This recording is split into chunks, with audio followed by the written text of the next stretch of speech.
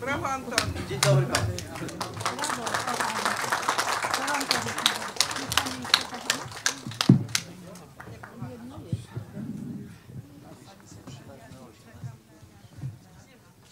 Dzień dobry Państwu. Proszę o otwarcie naszego spotkania posła z naszego terenu, pana Artura Górskiego.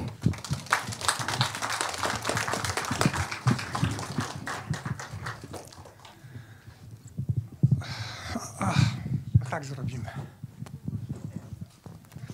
Witam serdecznie przede wszystkim naszego głównego gościa, pana Antoniego Macierewicza, który, który, który taki krótki, krótki wstęp do debaty, do dyskusji. Jakby porozmawiajmy o Polsce, czyli o naszych obecnych sprawach. Porozmawiajmy, to znaczy, że Państwo także jak najbardziej będą mogli brać udział w tej dyskusji, w tej rozmowie i będziecie Państwo pytania zadawać z tego mikrofonu. Całe spotkanie poprowadzi i głosu będzie udzielał pan Marcin Gugulski, wieloletni przyjaciel, wieloletni przyjaciel naszego, wice, naszego prezesa, a, a w sensie formalnym wiceprezesa Prawa i Sprawiedliwości i, i byłego ministra. Ja muszę Państwu powiedzieć, że ja zresztą bardzo ubolewam nad tym, że pan Antoni został wiceprezesem partii. Ja też, bo siedzimy gdzieś. Sie- Siedzieliśmy, jak to się mówi, no nie w szkolnej, ale w jednej poselskiej ławie obok siebie, e, często komentując to, co się dzieje na sali i w kraju. Ale niestety, jak pan prezes awansował, no to go przes- przesunięto do przodu. E, no i oczywiście no już nie mam tak wspaniałego towarzystwa, chociaż nie mniej, nie mniej godne i, i szacowne. Także, także oddaję panom głos. A, jeszcze na koniec. Przepraszam za to przeoczenie. Tak naprawdę to Państwo jesteście najważniejsi. Bo Państwo jesteście naszymi gośćmi, którzy e, swój czas e, po- poświęcają, żeby się tutaj z nami spotkać i porozmawiać. Także witam wszystkich szanownych Państwa.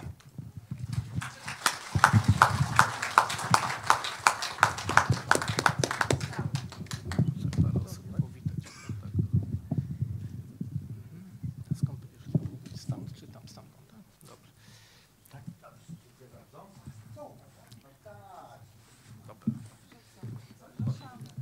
A ja będę z góry patrzył, kto się zgłasza do głosu, żeby sterować jakoś tak dyskusją w miarę nienatrętnie, nie wtrącając się.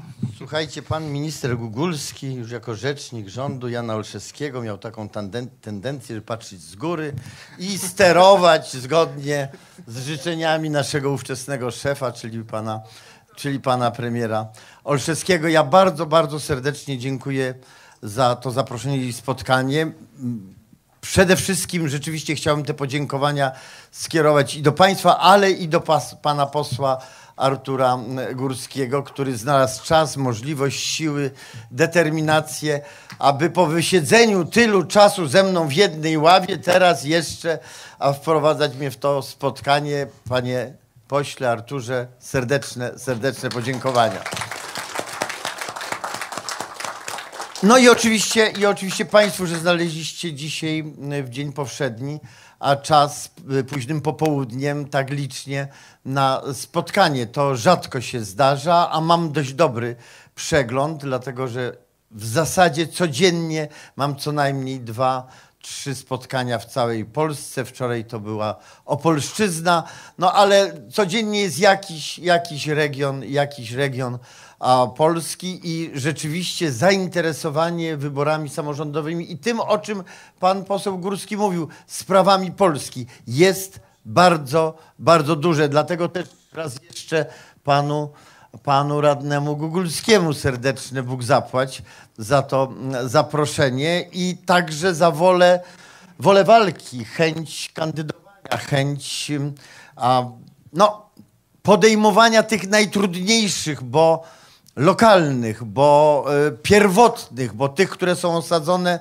e, na samym dole spraw polskich, spraw obywatelskich, bez których wielkich spraw rozwiązać się nie da. Wszystko jest razem z sobą związane. Wystarczy sobie uświadomić, a nie zawsze wszyscy do końca zdają sobie z tego sprawy, że Prawo i Sprawiedliwość wystawia w tym roku do tych wyborów ponad 31 tysięcy kandydatów w całym kraju. To jest wielka armia narodowa, którą niejako oddajemy do dyspozycji społeczeństwu, Polakom, naszemu krajowi, ojczyźnie, dlatego że ona będzie stanowiła, e, można by rzec, kręgosłup, infrastrukturę polskiego życia społecznego i, e, i publicznego. Jak Państwo wiecie, w dobrym i w złym w dobrym i w złym. Wtedy, gdy są to e, przedstawiciele nasi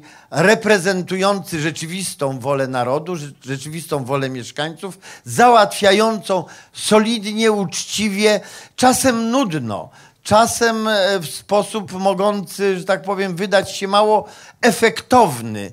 E, czasem to jest mniej telewizyjne niż wystąpienia wiecowe, ale zawsze absolutnie niezbędne dla funkcjonowania organizmu narodowego, funkcjonowania, funkcjonowania organizmu e, społecznego.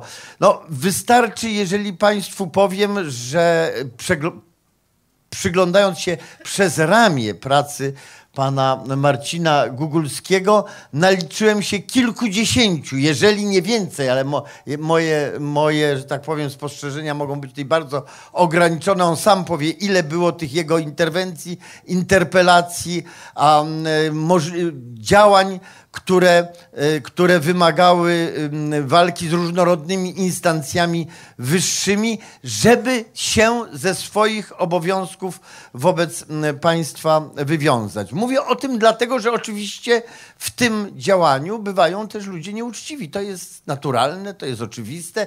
Tak jest zawsze, tak jest zawsze w życiu. Rzecz w tym, żeby poprzez mechanizm wyborczy, a także mechanizm funkcjonowania partii politycznych wyłonić tych, którzy będą rzeczywiście najuczciwsi, najskuteczniejsi w swoim działaniu. Dzisiaj w Polsce jest to straszliwie trudne. Dzisiaj w Polsce jest to straszliwie trudne. Jak Państwo wiecie, my mamy takie hasło wyborcze, które brzmi: słuchając Polaków, słuchając ludzi, zmieniać Polskę. Można by powiedzieć, że hasło jest banalne. No ale jak się przyjrzymy temu bliżej, a co nie daj Boże, wejdziemy do domu i włączymy TVN, to zobaczymy, że Polska jest zmieniana. Rzeczywiście jest w ciągu tych, nie ma wątpliwości, żeby ktoś powiedział, że Polska się nie zmieniła w ciągu tych ostatnich 24 lat od 1989 roku, no to po prostu mówiłby absolutnie nieprawdę. Jest tylko pytanie, w jakim kierunku i kogo słuchali ci, którzy Polskę zmieniali. Czyj głos był najważniejszy w tym zmienianiu ludzi. Ja mam takie wrażenie, że my jesteśmy od rana do wieczora poganiani propagandą, która nam mówi, jak zmieniać Polskę. Mówi nam na przykład, co to jest patriotyzm. Co to jest patriotyzm? No to jest miłość każdego innego narodu poza Polakami, prawda? To jest banalne, proste i oczywiste i każdy to od początku wie. Amerykanie mogą być patriotami, Żydzi mogą być patriotami, Niemcy mogą być patriotami, Rosjanie mogą, wszyscy mogą być patriotami, tylko patriotami nie mogą być Polacy. I to codziennie od rana do wieczora jesteśmy, że tak powiem, pouczani o tym, nam się to wbija od rana do wieczora w, w głowę no wbija się nam w głowę także, co to jest rodzina. No co to jest rodzina? No wiadomo, dwóch homoseksualistów to jest najlepsza na świecie rodzina. Ewentualnie mogą być, no ale tutaj już są takie, takie seksistowskie zachowania, dwie lesbijki. No to już w zależności od tego, kto mówi, prawda? Ale to jest rodzina. To jest rodzina. Jeżeli ktoś jest normalny, jeżeli ktoś ma rodzinę składającą się taką, która jest zdolna tworzyć rzeczywiście e, komórkę, e, komórkę rodzinną, to jest uważany za kogoś, kto się powinien wstydzić, kto się powinien tłumaczyć, a jeżeli nie daj Panie Boże, taka rodzina ma więcej niż troje dzieci, no to w ogóle już jest jakiś zupełny, zupełny horror, nieomal faszyzm, prawda? My jesteśmy pouczani. Nam się mówi, jak mamy zmienić nasze życie, żeby tworzyć normalną rodzinę. Poucza się nas, co to jest armia. No najlepiej armia to jest coś takiego, co nie ma w ogóle żołnierzy. Im mniej żołnierzy, tym jest lepsza, tym jest lepsza armia, prawda? Doszliśmy do tego, że mamy dzisiaj mniej żołnierzy, proszę Państwa, niż Sejm Wielki uchwalił. Naprawdę.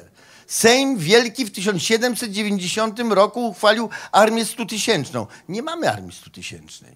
No nie mamy armii tysięcznej, naprawdę. Słowo daje. Tak nas, że tak powiem, wyedukowano. No co to jest, co to jest yy, gospodarka? No najlepsza gospodarka taka, która nie ma przemysłu, jeżeli chodzi o gospodarkę polską, bo niemiecka może mieć przemysł, nawet stoczniowy może mieć. Nawet stoczniowy. No oczywiście Polska przemysłu stoczniowego nie powinna mieć, bo Unia Europejska Polsce ma zabranić i gdybyśmy my chcieli się upierać przy posiadaniu przemysłu stoczniowego, to by znaczyło, że jesteśmy nienowocześni, że jesteśmy niekompatybilni z tym, co Unia Europejska mówi i w związku z tym powinniśmy się wstydzić i natychmiast sprzedać jakiemuś szejkowi katarskiemu najlepiej. No niestety szejk nie dojechał, w związku z tym stocznie zniszczono zamiast je sprzedać. Ale tak było. Ja nie mówię czegokolwiek, co by się działo 100 lat temu, albo jakąś książkę opowieść. Nie, na naszych oczach te stocznie zlikwidowano. Przecież żyją jeszcze w Polsce, którzy pamiętają Kwiatkowskiego. Żyją tacy, żyją tacy, którzy pamiętają, jak budowano Gdynię, albo przynajmniej im rodzice opowiadali, jak budowano Gdynię, prawda? Dzisiaj to jest jakaś w ogóle historyjka zupełnie z innego, z innego świata. To chyba z Manhattanu albo gdzieś. Żeby zbudować całe miasto portowe, to przecież niemożliwe. Przecież pociągi jeżdżą dwa razy dłużej do Gdyni dzisiaj niż jeździły w roku 1939. Naprawdę to niestety nie jest śmieszne. Naprawdę tak jest a do Krakowa dłużej niż dwa razy dłużej. No. No nie wiem dlaczego, może mniej ludzi jeździ na, na, na wybrzeże, a więcej jeździ y, w góry. Nie wiem jak to jest. No, w mojej rodzinie się jeździło i w góry, i na wybrzeże. W związku z tym jestem trochę sfrustrowany, że i w jednym, i w drugim kierunku, ale do Łodzi się jedzie jeszcze dłużej niż dwa razy dłużej. Więc w związku z tym, znaczy opowiadam o tym wszystkim, dlatego że ja nie chcę negować osiągnięć, jakie mieliśmy w ciągu ubiegłego 24 lat. Na pewno one były. Na pewno one były. Tylko one są tak dziwacznie skonstruowane, że z nich najmniej skorzystali Polacy. Znaczy, powtarzam, one na pewno są. Z pewnością. Podobno nawet są jakieś całe autostrady. Ale większość z nich jest takich, że ona jest cała, ale w środku jest 20 kilometrów, przez których najlepiej przejść na piechotę, albo objechać tak dookoła, że ten czas jazdy jest taki sam, jak był w roku 1965, prawda? Jak już mówimy o roku 1965, to trzeba powiedzieć jeszcze o jednej przykrej rzeczy i naprawdę jak ja sobie to uświadomiłem, chyba przedwczoraj, chyba byłem wtedy w Pajęcznie, to takie bardzo fajne, fajne małe miasto na, y, y, blisko, blisko Częstochowy. Tak, tak, naprawdę, naprawdę. Słuchajcie, sala była taka mniej więcej, taka jak mniej więcej tutaj, ale taka była tam determinacja, żeby to wszystko zmienić. Taka, takie było, że tak powiem, takie zdrowe, chłopskie postanowienie dosyć tego. Jak on uciekł do Brukseli, to my tutaj wreszcie zrobimy porządek. Taka była tam naprawdę wielka determinacja. Otóż y, uświadomiłem sobie wtedy, rozmawiając z tamtymi, z tamtymi rolnikami, że nas dzisiaj w Polsce jest 35 milionów ludzi.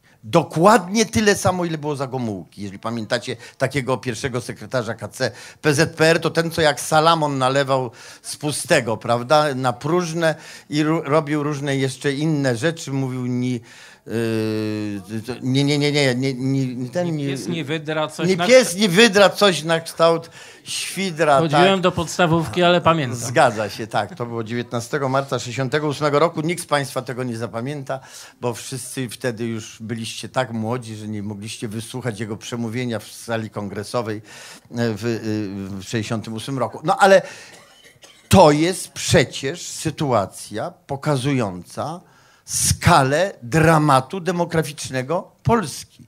Bo te 35 milionów ludzi w roku 65 to była odbudowa od roku 45, kiedy było nas 22 miliony po hekato- hekatombie sowiecko-hitlerowskiej, prawda? Bo 35 milionów było też w 39 roku. W 1939 roku na ówczesnym obszarze Rzeczypospolitej żyło 35 milionów ludzi. Później przyszła hekatomba y, sowiecko-hitlerowska, prawda, zarówno morderstwa, jak i y, zabór połowy terytorium Rzeczpospolitej i na, obszarze, na obszarze Rzeczpospolitej z roku 1945 żyło 21,5 miliona ludzi w 1945 roku. W 1965 sz- 35, a w roku 2014 35. 35. Bo ponad 2,5 miliona, blisko 3 miliony ludzi wyemigrowało i rodzą się polskie dzieci i rozwijają się polskie rodziny, tyle że nie w Polsce. Tyle, że nie. Ja wiem, my w Warszawie bardzo mało to odczuwamy, bo Warszawa, podobnie jak właśnie te metropolie i- na, na, na innych, że tak powiem, w innych krajach, jest jedną z metropolii, do której, tak która zasysa Polaków y, z, y, y, z, całej, z całego obszaru Rzeczpospolitej. Warszawa rośnie. Nas jest tu w Warszawie de facto ponad 2 miliony ludzi i Warszawa, tak powiem, nie odczuwa w ogóle tego, co naprawdę się dzieje w Polsce. Warszawa tego nie widzi, nie czuje. Choć oczywiście trudno widzieć i czuć, jak ma się na głowie panią Hannę Gronkiewicz-Walc. To zasłania w ogóle wszystko i sprawia, że, że tak powiem, perspektywa związana z następnym, nie daj Panie Boże, czteroleciem może być upiorna. Na szczęście był tutaj pan minister Sasin i rozumiem, że jest szansa, żebyśmy wybrali właściwego przedstawiciela, bo powtarzam, jeszcze następna kadencja pani, pani Gronkiewicz-Walc to może być już zupełna dla Warszawy katastrofa. Dzisiaj byłem, muszę Państwu powiedzieć, odbyłem długą rozmowę z e, stołecznym przedstawicielem, to się nazywa konserwatorem zabytków.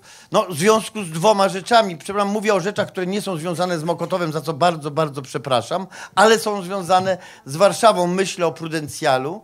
I myślę o y, tej, nie wiem jak to nazwać, no, stodole, którą się buduje na Placu Zamkowym. Betonowej stodole, prawda, którą się bud- buduje na miejscu, na miejscu zniszczonych y, warszawskich y, kamienic.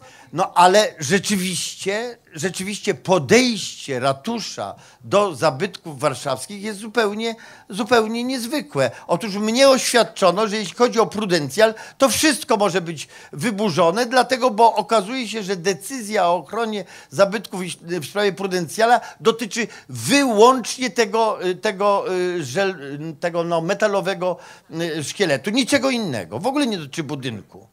Wszystko można zburzyć, byleby ten metalowy szkielet, który pan e, inżynier Bryła zaprojektował i nadzorował budowę e, wtedy w latach 30., byle to się zostało, to wszystko inne może być zniszczone. No, nie ma zgody na takie traktowanie najstarszego w Europie drapacza chmur i jednego z najważniejszych warszawskich zabytków. Ja mówię temu konserwatorowi, panie, to pan sobie weź pałac kultury zbóż, a to nam zostaw, no. Naprawdę jesteśmy gotowi na taki interes, też wysokościowiec, nawet wyższy, prawda? I też zabytek. No więc weź sobie pan pałac kultury, zostaw nam prudencjal i będzie dobrze. Ale zdaje się, że nie jest chętny na taką, na taką zamianę. Otóż my dzisiaj, jako Prawo i Sprawiedliwość, a nawet szerzej, jako szeroka formacja patriotyczna, jako szeroka formacja patriotyczna, bo jak Państwo wiecie, doszło nie tylko do porozumienia słownego, ale do podpisania umów koalicyjnych z innymi partiami, z innymi partiami e, patriotycznymi i e, odwołującymi się do haseł prawicowych. My dzisiaj przedstawiamy Polakom, jak powiedziałem, armię ludzi, którym ufamy i których zaufaniem obdarzamy, żeby tworzyli tę infrastrukturę, y, infrastrukturę społeczną. Robimy to dlatego, że przecież struktura samorządu i jego funkcjonowanie zasadniczo zmieniła się od momentu wejścia Polski do Unii Europejskiej. I znowu, w Warszawie może to jest mniej odczuwalne, ale na prowincji nieprawdopodobnie. Tam o możliwości rozwoju danego samorządu i danej miejscowości decyduje Sejmik. Dlatego, bo Sejmik ma gigantyczne pieniądze płynące z Unii Europejskiej i to, jak rozdawane są te pieniądze, rozstrzyga o tym, czy pajęczno się rozwija, czy nie pajęczno, tylko, tylko na przykład gmina, o, y, gmina obok, prawda? Bez tej decyzji, bez tego, że tak powiem, rozstrzygnięcia, w ogóle nikt nie jest w stanie funkcjonować, bo jak Państwo wiecie, przemysł został zlikwidowany, zniszczony i w związku z tym największym e, pracodawcą, w y, gminach poza Warszawą największym pracodawcą jest po prostu urząd gminy. Jest po prostu samorząd. Samorząd i urzędnicy to jest jedyny przyrost y, y, pracowniczy, jaki rzeczywiście w Polsce poza wielkimi aglomeracjami takimi jak Warszawa istnieje. Tylko tam następuje wzrost, y, wzrost zatrudnienia. Wszędzie indziej brak pracy jest największą, straszliwą katastrofą degradującą człowieka, degradującą rodzinę, degradującą życie społeczne, wyniszczającą tych ludzi. Jak wiecie, doszło do takiej sytuacji, w której w Polsce teraz jest już więcej e, samobójstw niż dawniej na Węgrzech. Dawniej Węgry, e, e, że tak powiem, były tym tym, tą społecznością, w której było najwięcej. Dzisiaj w Polsce samobójstw jest więcej niż śmiertelnych wypadków na drogach, a wypadki na drogach tworzą armię ponad trzytysięczną ludzi, którzy zginęli każdego. To jest miasteczko, które, które ginie, a dużo więcej jest samobójstw. Dwa razy więcej jest samobójstw. To jest, tak, pon, mówię, no dwa razy więcej, tak. Dwa razy więcej jest samobójstw. To jest obraz i co więcej, najczęściej, w coraz większym stopniu to są młodzi mężczyźni. To są młodzi mężczyźni, którzy nie dają sobie rady z sytuacją taką, w której nie mają żadnych szans na rozwój jakichkolwiek szans na rozwój, w których nie mają szans na utrzymanie rodziny, w których nie mają szans na sprostanie, że tak powiem, zupełnej beznadziei, jaka, jaka ich y, otacza. To jest skutek rządów Donalda Tuska i mówimy to bardzo jasno. To jest skutek rządów Donalda Tuska nie dlatego, że go, że go nie lubimy. Lubimy panią Kopacz, lubimy pana Tuska, w ogóle wszystkich ich, wszystkich ich, wszystkich ich bardzo kochamy, tylko dlaczego? Tylko dlaczego tak marnotrawi się pieniądze, które płyną z Unii Europejskiej? Mówi się, że to jest drugi plan Marszala. To prawda. To jest nawet więcej proporcjonalnie niż plan Marszala. Tylko jak Państwo wiedzą, to nie jest za darmo. To są pieniądze, które my dostajemy w zamian za to, że polscy rolnicy produkują mniej mleka niż mogą. Będziemy płacili w tym roku 200 milionów złotych za to, że polscy rolnicy przekroczyli nakazane, przyznane im kwoty mleczne. Otóż y, jesteśmy karani za to, że wyprodukowaliśmy mleka więcej niż nam przyznano. No, przyznano nam mniej. Po, dlaczego? No po to, żeby wpływało mleko niemieckie, żeby wpływało mleko z innych krajów. Oddaliśmy nasz rynek. Oddaliśmy nasz rynek cukrowy także. Produkujemy cukru nieporównanie mniej niż Możemy. Po to, żeby wchodził inny cukr. Zresztą cukrownie w większości, jak Państwo wiecie, zostały sprzedane po prostu Niemcom i tyle. No, mowa była o autostradach. No, jak Państwo zauważyli, bardzo długo w Polsce nie budowano autostrad. I nikt nie mógł zrozumieć, dlaczego tych autostrad się nie buduje. Ten Hitler zbudował autostrady w latach 30., a u nas nie ma i nie ma i nie ma. A no bo autostrady tak długo nie budowano, dopóki nie sprzedano ostatniej polskiej cementowni. Jak sprzedano ostatnią polską cementownię, to ruszyły z kopyta autostrady i dzisiaj w zasadzie właśnie poza tymi 20-kilometrowymi, e, e, tak powiem, dziurami, które sprawiają, że one nie mogą funkcjonować, ale są. Są, można przeciąć wstęgę, ruszyć, prawda, przejechać 20 kilometrów. Są, są autostrady, bo po prostu już są budowane nie z e, surowca, którym, i nie z przetworzonego surowca, którym my operujemy. to są w konsekwencjach tego jest tak, że z każdego euro, które płynie do nas z Unii Europejskiej, 90 centów płynie do niemieckich przedsiębiorstw. 90 centów. I żebyście Państwo mieli jasność, to nie jest tak, że, bo często y, mówimy, że że my oddajemy do Niemiec 90 centów. Nie, nie, to nie Niemcy się tylko składają na te pieniądze, które do Polski, oni odwrotnie, oni zarabiają nie tylko na nas, zarabiają na Francuzach, zarabiają na Włochach, zarabiają na wszystkich, bo to 90 euro mogłoby się rozkładać na Polaków, na Włochów, na Hiszpanów, na, wszystkich, na wszystkie kraje, które się składają na pieniądze, które są rekompensatą za polski rynek. Powtarzam, one są rekompensatą. Otóż ten polski rynek został zmonopolizowany przez Niemcy. Został zmonopolizowany. Polska gospodarka, tak ładnie mówi pan Donald Tusk, czy ten od, od, od finansów, zapominam jak się nazywa, bo on już nie pełni funkcji. Rostowski, właśnie, pan, pan Rostowski, y, pan, pan minister Vincent y, Rostowski, Jacek Vincent Rostowski. Y, otóż, że my się tak świetnie rozwijamy i nasza gospodarka jest kompatybilna, takie ładne słowo, z gospodarką niemiecką. Ona nie jest kompatybilna. Ona nie jest kompatybilna. Ona jest po prostu podwykonawcą gospodarki niemieckiej. Taka jest realna, taka jest realna sytuacja. To nie jest tak, że my współpracujemy z gospodarką niemiecką. To byłoby w porządku. To by dawało nam szanse rozwojowe. To byłaby sytuacja dla Polski korzystna. Taką sytuację wywalczyły sobie Czechy. No wystarczy zobaczyć e, Skodę Super B, prawda? I, I zobaczyć, co produkuje Żerań. Żerań nic nie produkuje. Żerań po prostu nic nie produkuje.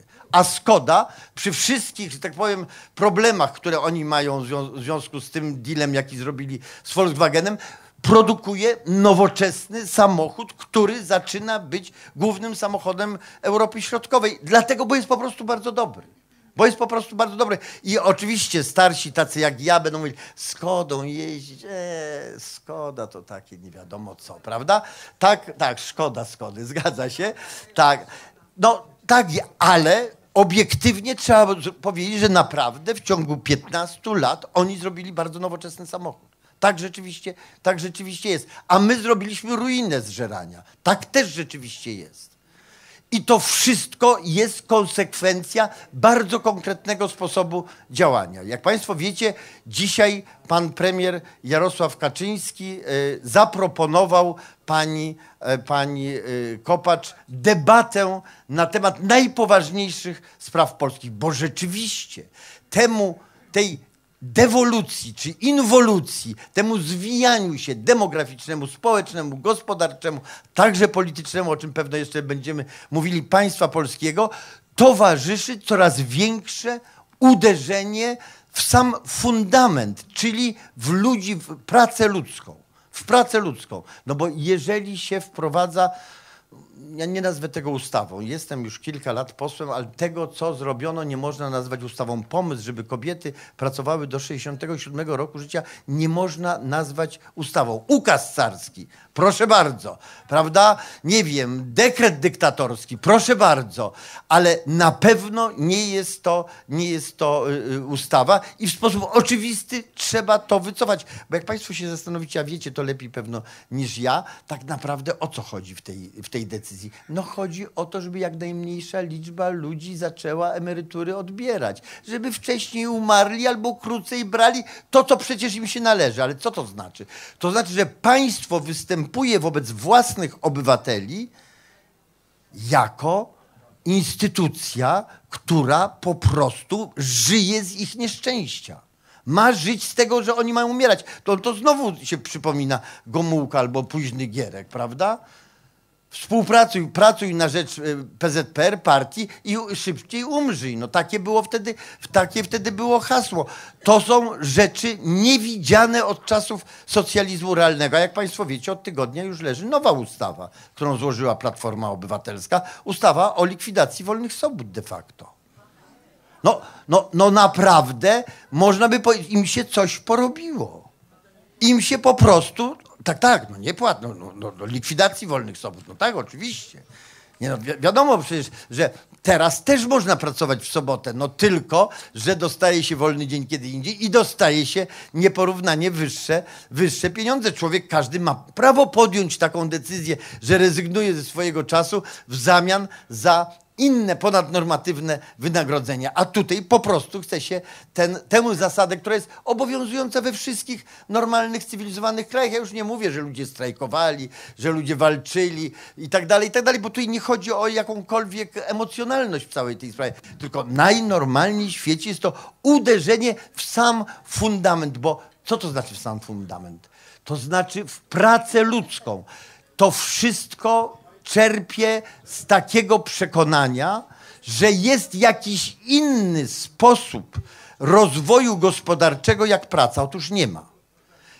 Jedynym źródłem rozwoju gospodarczego jest praca ludzka. Bez pracy ludzkiej, oczywiście kapitał, tak, wiemy to, zgadza się, ale fundamentem jest praca ludzka. Jak nie ma pracy ludzkiej, nie będzie żadnego rozwoju. Jak nie ma przemysłu, nie będzie likwidacji bezrobocia. Jeśli Państwu ktoś mówi, że można, że powiem, poradzić sobie z bezrobociem w ten sposób, że zrobi się jeszcze jeden urząd zatrudnienia na przykład, albo jeden urząd, który będzie radził, jak rozwiązywać problemy pracownicze, to, to jest znakomity pomysł, żeby swoim bliskim, znajomym i, i przyjaciołom załatwić urzędniczą pracę. Ale to nie jest pomysł na likwidację bezrobocia i żadne nowe zupy kuroniowskie na to nie, y, nie pomogą, nawet jeśli będą się nazywały zupami pani Kopacz.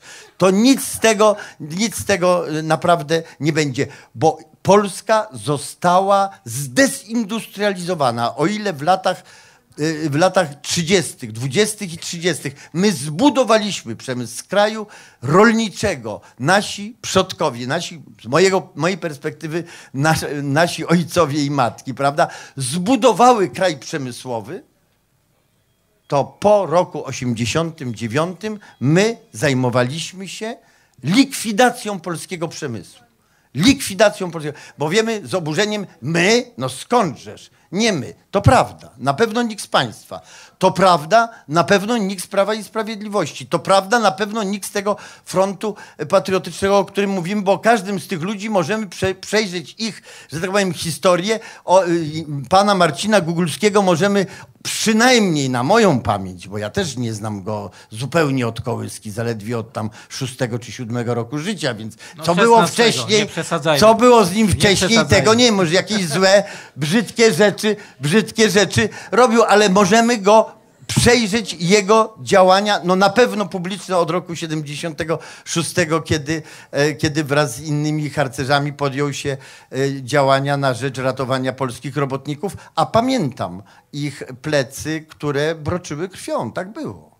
Bo to dzisiaj też tak się często mówi, jesteśmy tak przygniecieni tym, co nas dzisiaj spotyka, prawda? Tą bezradnością, e, tą bezczelnością, e, z którą mamy do czynienia, e, takim, taką nachalnością, także telewizorową, która nas właśnie pogania batem najlepiej do, rodziny homoseksualnej albo do patriotyzmu, nie wiem, niemieckiego czy chińskiego, byle nie polskiego, że nam się czasami zaczyna wydawać, a może wtedy było lepiej? Nie było lepiej.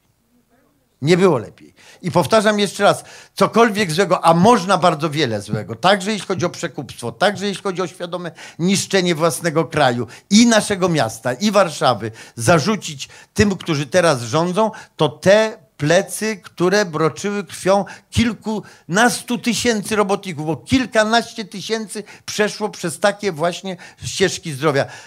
Ponad 20 tysięcy było w więzieniu po, po czerwcu 76 roku. Z tego też trzeba sobie zdawać sprawę. A kilkanaście tysięcy przeszło przez po prostu normalne tortury. Tak wyglądał ten dobrotliwy Gierek. Warto o tym z całym szacunkiem dla Gierka oczywiście. A jakżeż e, warto sobie, warto jednak o, o tym pamiętać. I wtedy tacy ludzie właśnie jak Marcin się znaleźli i zdecydowali się e, tym robotnikom zacząć pomagać. Żadne cudawianki żadne, że tak powiem, bohaterszczyzny, e, żadne kamienie na szanic. Nie, po prostu zawozili im, ich, ich matkom, żonom, córkom jedzenie, załatwiali im adwokata, załatwi, wozili ich do lekarza, informowali ich o terminach, o terminach rozpraw, załatwiali, żeby ich nie nachodziła milicja obywatelska. No po prostu próbowali im pomagać tak, jak można pomagać.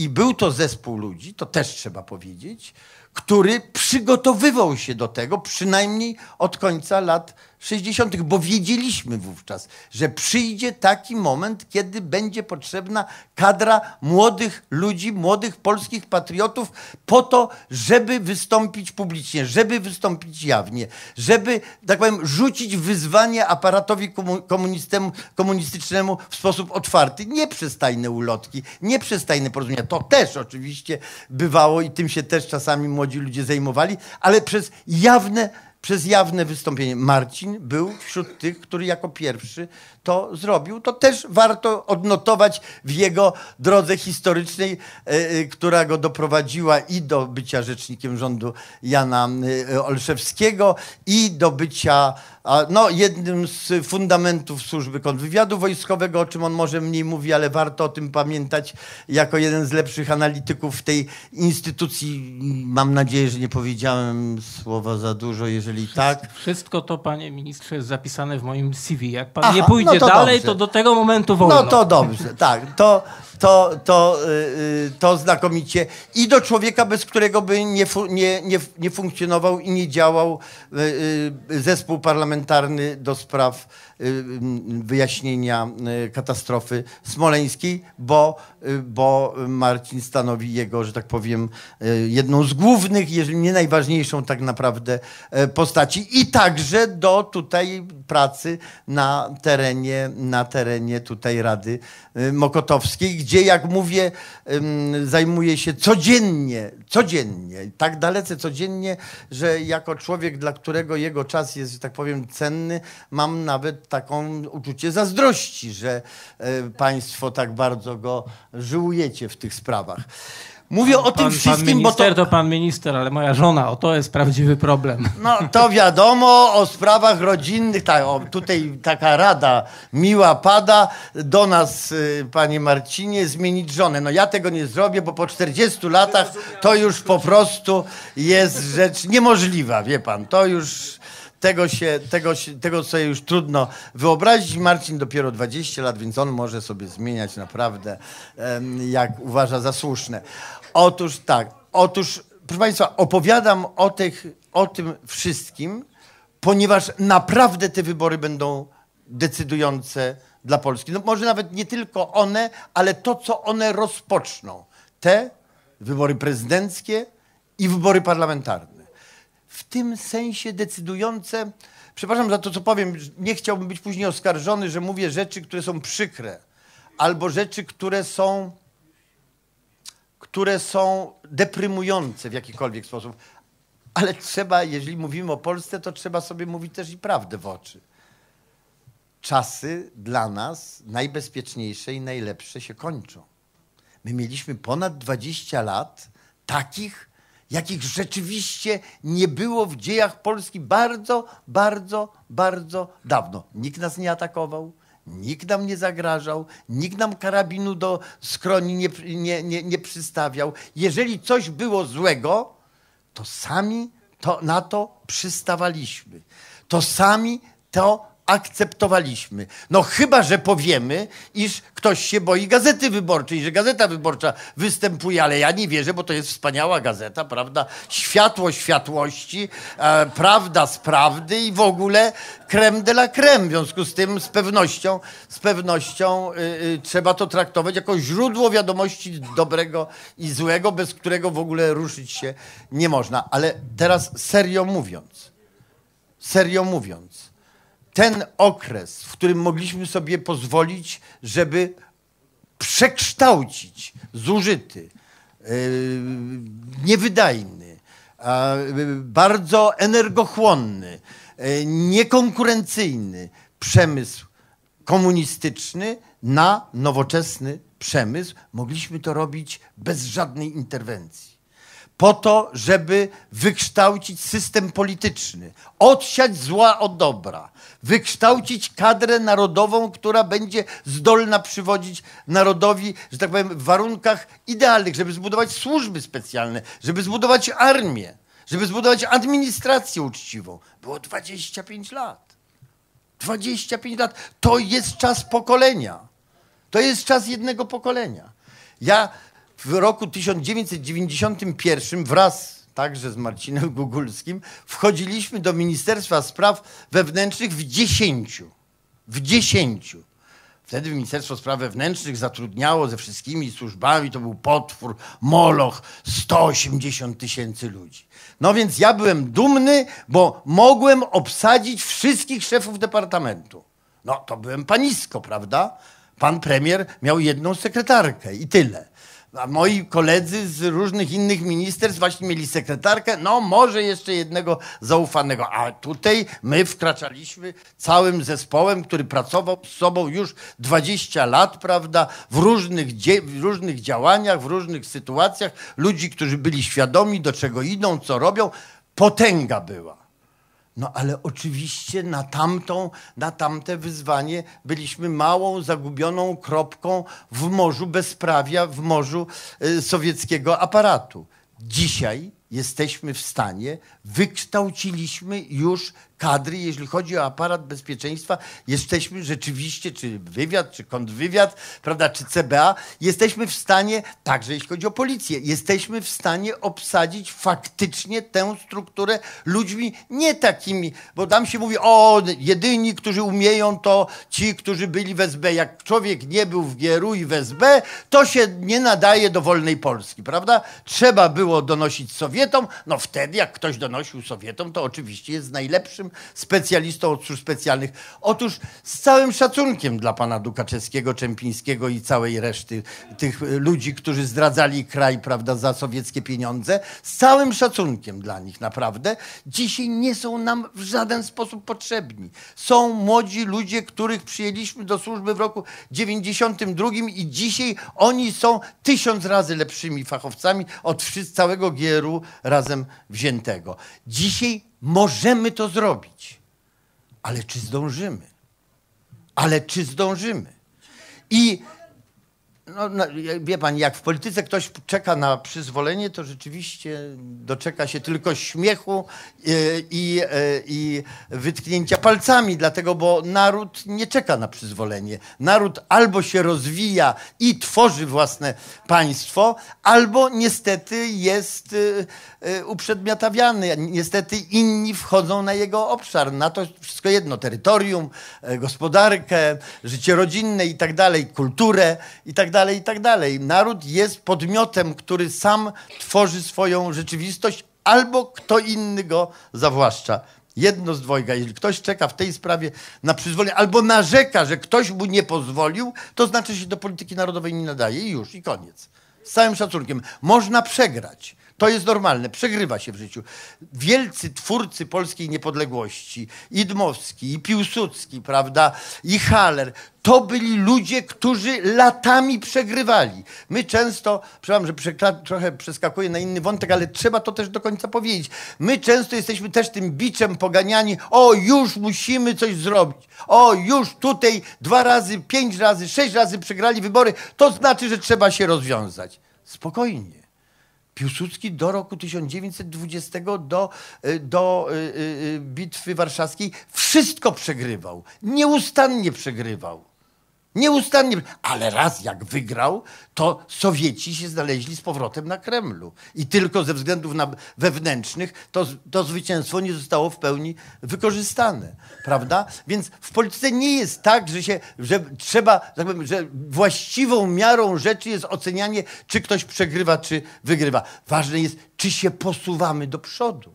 Otóż warto sobie uświadomić, że od czasu Solidarności, a niektórzy z Państwa e, pamiętają Solidarność, od czasów tego największego, największego poza ruchem Mahatmy Gandiego ruchu społeczno-narodowego na świecie, nie było większego ruchu społeczno-narodowego na świecie, poza, jak mówię, e, ruchem Gandiego, od tego czasu największą strukturę polityczną zbudował Jarosław Kaczyński. Trzeba sobie z tego zdawać sprawę.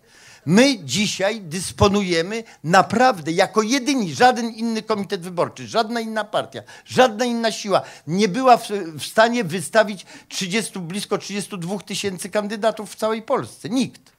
Nikt, po prostu.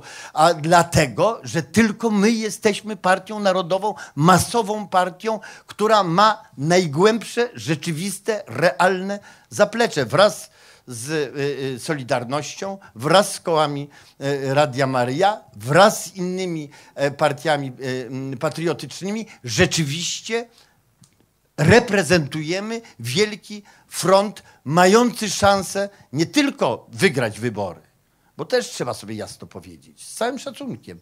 Mm, to nie o to chodzi, żebyśmy, żebyśmy wygrali wybory i byli zmuszeni do tego, żeby na przykład tworzyć rząd z PSL-em.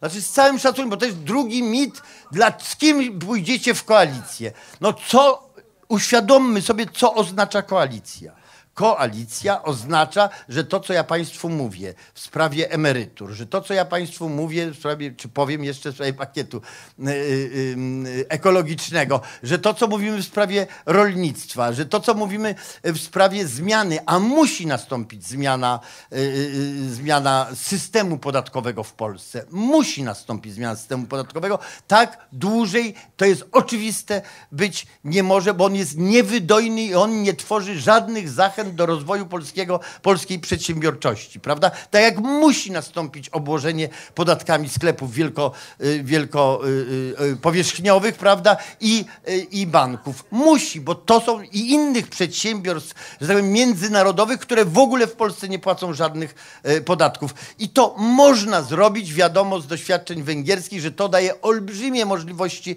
rozwojowe. Dzisiaj Jarosław Kaczyński powiedział, że oblicza ten pakiet, który przedstawiliśmy pani e, Kopacz, gdzie jest i sprawa emerytur, i sprawa podwyżki, e, podwyżki najniższych płac, prawda, i sprawa zrezygnowania z obłożenia najniższych emerytur e, podatkami, i sprawa pakietu ekologicznego. Te podstawowe kwestie, które są natychmiast do załatwienia, że to jest około 13 miliardów złotych. Dużo. Dużo. Nawet bardzo dużo. No ale jak Państwo wiecie, jeden podpis pana Szczurka kosztował nas, albo dokładniej brak tego podpisu, 3,5 miliarda.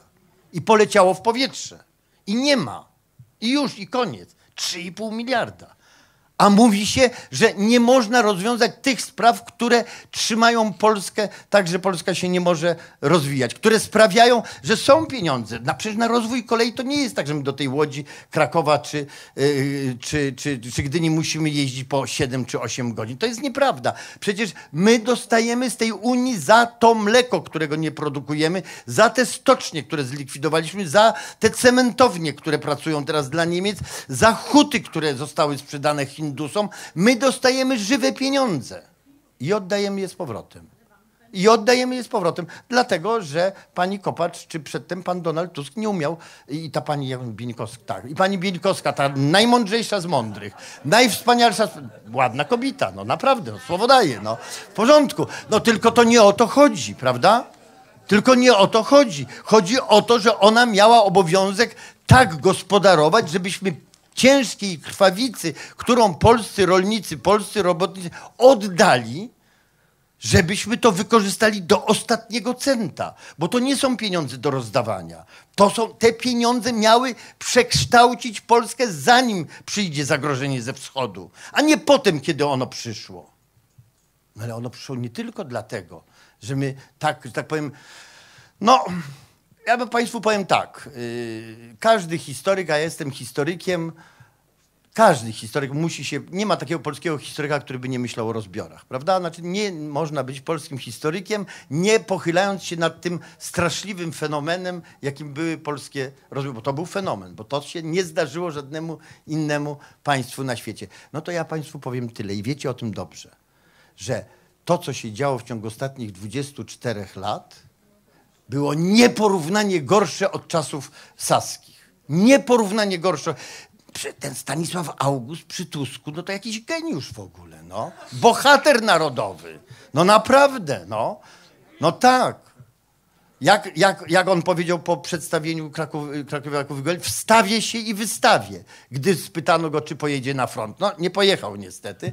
Nie pojechał na front, ale przynajmniej coś zaczął, ale przynajmniej coś robił, przynajmniej zostały nam łazienki. Coś nam po nim przynajmniej, coś nam po nim przynajmniej zostało. A po Tusku co nam zostanie? Wyjazd do Brukseli, tak? Znaczy, no, no to po prostu to po prostu są rzeczy, warto sobie to uświadomić. Znaczy może to jest w ogóle niestosowne porównywać y, pana y, premiera Donalda Tuska z, z Stanisławem Augustem Poniatowskim. Może to w ogóle jest tak olbrzymia dysproporcja, że samo porównanie jest już, że tak powiem, y, no, deprecjonujące Stanisława Augusta i nie można o tym mówić. Ale powtarzam raz jeszcze, my to jest ostatni moment. Mówię o tym wszystkim, żeby sobie uświadomić, jaka jest waga tych wyborów bo to, co idzie ze wschodu, naprawdę się nie zatrzyma. Bez złudzeń, proszę Państwa. To nie jest tak, że, y, że to jest człowiek i że to jest państwo. O, bo wariat, y, y, wariat Putin, Hitler mówią. Temu Hitlerowi ci ludzie oddawali najważniejsze śledztwo dotyczące całej polskiej elity. I mówili, że on jest wspaniały, że cudowny, że on najlepiej powie nam, jak doszło do śmierci pana prezydenta Rzeczpospolitej. W jego troskliwe ręce oddano wszystkie dowody. A dzisiaj Hitler, Stalin, krwiopijca, straszne. I wtedy był taki i teraz jest taki. Nic się nie zmieniło z panem Putinem. I się nie zmieni i się nie zmieni. Warto sobie z tego zdać sprawę. Nie po to, żeby się straszyć. Ja wiem, że jestem przedstawiany często. Było takie spotkanie w Krośnie chyba z dwa lata temu, gdzie powiedziałem, rzeczywiście powiedziałem, tak, że dramat smoleński, katastrofa smoleńska była pierwszym atakiem w tej wojnie, jaką Polsce wypowiedziano. Tak powiedziałem. Rzeczywiście. Za to katowano mnie w tej telewizji. Nie, tu wzywa do wojny z Rosją. To są podżegacze wojenni, chubka i czaja. Prawda? No nie wiadomo co, jakieś straszne, straszne, straszne rzeczy. No, a czy tak nie było? A czy tak rzeczywiście nie było? Czy nie tak powinni prowadzić politykę odpowiedzialni politycy polskiego narodu? Rozumieć, co się naprawdę wtedy zdarzyło? rozumieć, jakie są tego konsekwencje. A ja tam powiedziałem, że bez względu na to, czy drugi atak będzie za miesiąc, czy za trzy lata, on prędzej czy później będzie. Bo nie podejmuje się takiej decyzji tylko dlatego, żeby nie było tego konsekwencji. Bo Rosja nie jest krajem, który podejmuje takie działania, tak straszne, tak, tak ryzykowne. Tak ryzykowne tylko dlatego, że komuś się coś uwidziało. I pan Putin nie jest szaleńcem. Pan Putin jest reprezentantem formacji, która nigdy nie zrezygnowała do panowania nad światem. I już. I z tego trzeba sobie zdać sprawę. Wszystko jedno, czy jest trzy razy dzisiaj w cerkwi, czy wcześniej był cztery razy w konsomole, to zasada jego funkcjonowania się nie zmieniła i nie zmieni. My nie mamy już czasu na dywagowanie, bo to bardzo częste jest u nas. No to zrobimy tak. Córka zagłosuje na PSL. Syn syn, bo to młody chłopak, no to napis oczywiście, no to jest jasne, prawda? Tata, no tam, to może na SLD, prawda? A mama na Platformę Obywatelską. I w ten sposób będzie, nikt nam nie zarzuci i my sobie też nie zarzucimy, że czegoś nie dopełniliśmy. Każdy zrobił i jako rodzina jesteśmy w porządku. Nie ma już na to czasu. Nie ma już tej możliwości. My naprawdę mamy ostatni moment, żeby rozstrzygnąć i uratować naród i państwo polskie. I żebyśmy później nie mieli pretensji.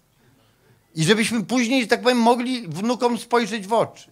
I dlatego dzisiaj Państwu przedstawiamy, jak mówię, kadrę narodową w postaci tych 31 tysięcy. I dlatego dzisiaj proszę Państwa o głosowanie na kandydatów Prawa i Sprawiedliwości tu na Mokotowie. I dlatego raz jeszcze proszę o, y, o głosowanie na Marcina Gugulskiego, bo wart jest tego Waszego głosu, bo wart jest największych zaszczytów, jakie w ogóle Rzeczpospolita może dać. Dziękuję bardzo.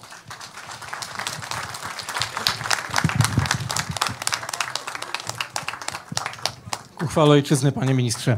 E, proszę państwa, tu pan minister rzucił nam to sytu opis sytuacji na takie szerokie tło. Mówił zgodnie z tematem spotkania, rozmawiamy o Polsce.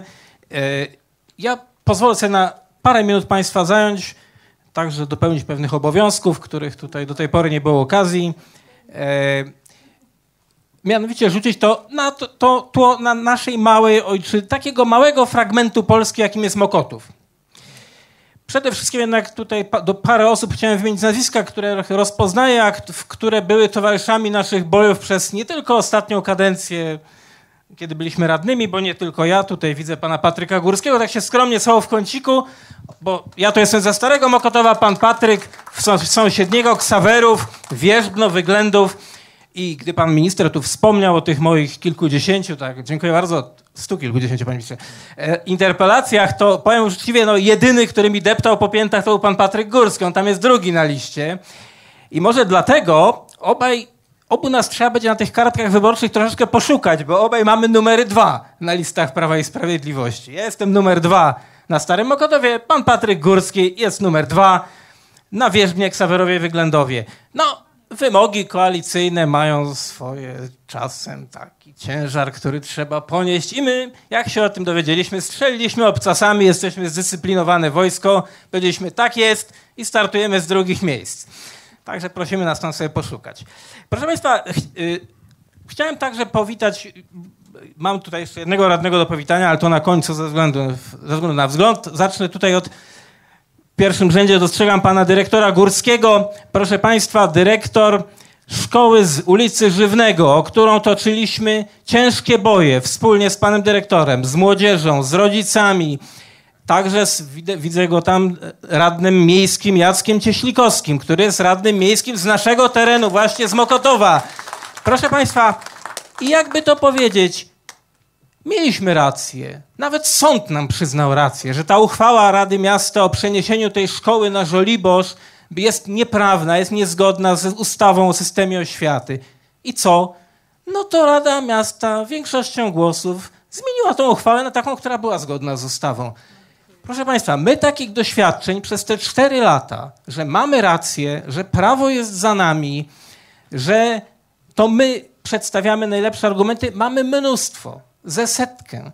A potem przychodzi moment głosowania i się w głosowaniu przegrywało. A dlaczego się przegrywało? Bo w polityce, a już w, polityce, w każdej polityce decydującym czynnikiem poza determinacją i wolą jest siła. A w polityce demokratycznej si siła kartki wyborczej w dniu wyborów, a potem siła mandatów w Sejmie czy w Radzie. I my sobie mogliśmy być autorami największej liczby interpelacji, My mogliśmy być tymi, którzy najczęściej zabierają głos na sesjach, tymi, którzy nawet zgłaszają najwięcej poprawek, które ta sala przyjmuje, bo my po prostu się najlepiej znamy na konstruowaniu prawa miejscowego. No tak się składa, no nic na to nie poradzę. W czasie, kiedy my poprawiamy uchwały źle przygotowane przez zarząd, tu w tej sali, bo w tej sali obraduje Rada Dzielnicy, w tym czasie panie z Platformy Obywatelskiej rozmawiają o tym, a jaki tapszan by na Allegro kupić, albo a która pani jaką sukienkę miała. My się w tym czasie zajmujemy prawem. Proszę Państwa, e, w, ta, tej sprawę tej szkoły przeniesionej z ulicy Żywnego na Żoliborz, mimo protestów rodziców i dzieci i nauczycieli, nieprzypadkowo. Mokotów ma swoją specyfikę. Z powodów historycznych to jest dzielnica, w której największy odsetek pieniędzy wydaje się na oświatę. My w budżecie ponad 52% pieniędzy przeznaczamy na oświatę. Wydawało się, że to bardzo dużo. No tak, tylko że jak tydzień temu w tej sali, czy dwa tygodnie temu opiniowaliśmy w tej sali projekt czegoś takiego, coś, no, co jest de facto budżetem dzielnicy, chociaż się trochę inaczej nazywa, a co opracował ratusz pani Hanny Gronkiewicz-Walc, to wyliczaliśmy, że to nie starczy na remonty szkół, a liceum Konopnickiej nie ma, nie ma porządnego boiska, a sypie się sala gimnastyczna. A w szkole na Kazimierzowskiej konieczny remont, a dachy to możemy tak wyliczać aż do momentu, jak nas wygonią z tej sali. Proszę Państwa, co my w tej, w tej sytuacji mogliśmy robić, skoro my wskazywaliśmy na te rzeczy, a potem w głosowaniu oczywiście przegrywaliśmy. No, te nasze 7 głosów za zaopiniowaniem negatywnym przeciwko 21 to nie, nie, bo oni nie przychodzą tak na sesję jak my. No mniejszej liczbie głosów Platformy i SLD. Proszę Państwa, no jednym z takich tutaj klasycznych elementów, klasycznych miejsc, w których się działo duże finansowe bezprawie w dzielnicy było tak zwane dzielnicowe Biuro Finansów Oświaty. Cztery lata temu zarząd postanowił, znaczy tak, zaniedbał sprawę umieszczenia tego biura, czyli takiego wielkiego księgowego, który obsługuje wszystkie te szkoły, przejadające 52% budżetu dzielnicy. Ona sobie było dawniej w budynku miejskim. Czyli mówiąc krótko, płaciło się za wodę, prąd i wystarczy. Ale potem pani Gronkiewicz-Walc zabrała ten budynek na jakieś archiwum. W związku z czym, co zrobił zarząd dzielnicy? Wynajął za ponad milion złotych rocznie w galerii Panorama przy Wisłostradzie. To są najdroższe, najdroższe powierzchnie komercyjne. Wynają dla, jeszcze plus tam były koszty adaptacji, dla tego biura lokal. I potem nam mówiono tak, no to teraz przeniesiemy szkołę na żywnego możliwość, ale dzięki temu będzie darmowy lokal dla DBFO. Jak się już szkołę przeniosła na Żoliborz, to się okazało, że nie, DBFO nie można w tym budynku i nadal w tej panoramie co roku ponad milion złotych. Ktoś powie, a co to jest milion przy takim budżecie 250 milionów? Może to i niedużo, to mniej niż 1%, ale na takich drobiazgach, na takich oszczędnościach właśnie pokazuje się, kto jest dobrym gospodarzem, a kto jest gospodarzem rozrzutnym. Proszę Państwa, my w naszym programie, który był ogłoszony w naszej jednodniówce, wskazywaliśmy na pewne niezbędne inwestycje dla dzielnicy. Inwestycje komunikacyjne. Przedłużenie Woronicza do Wielkiej Wigury, e, udrożnienie trasy Siekierkowskiej, no żeby i góra i dół coś z tego miały. Proszę Państwa, to są konieczne, niezbędne rzeczy. Każdy o tym wie. Reakcja jest taka, no ale to będzie kosztowało, ile to będzie kosztowało? Oczywiście, wszystko kosztuje.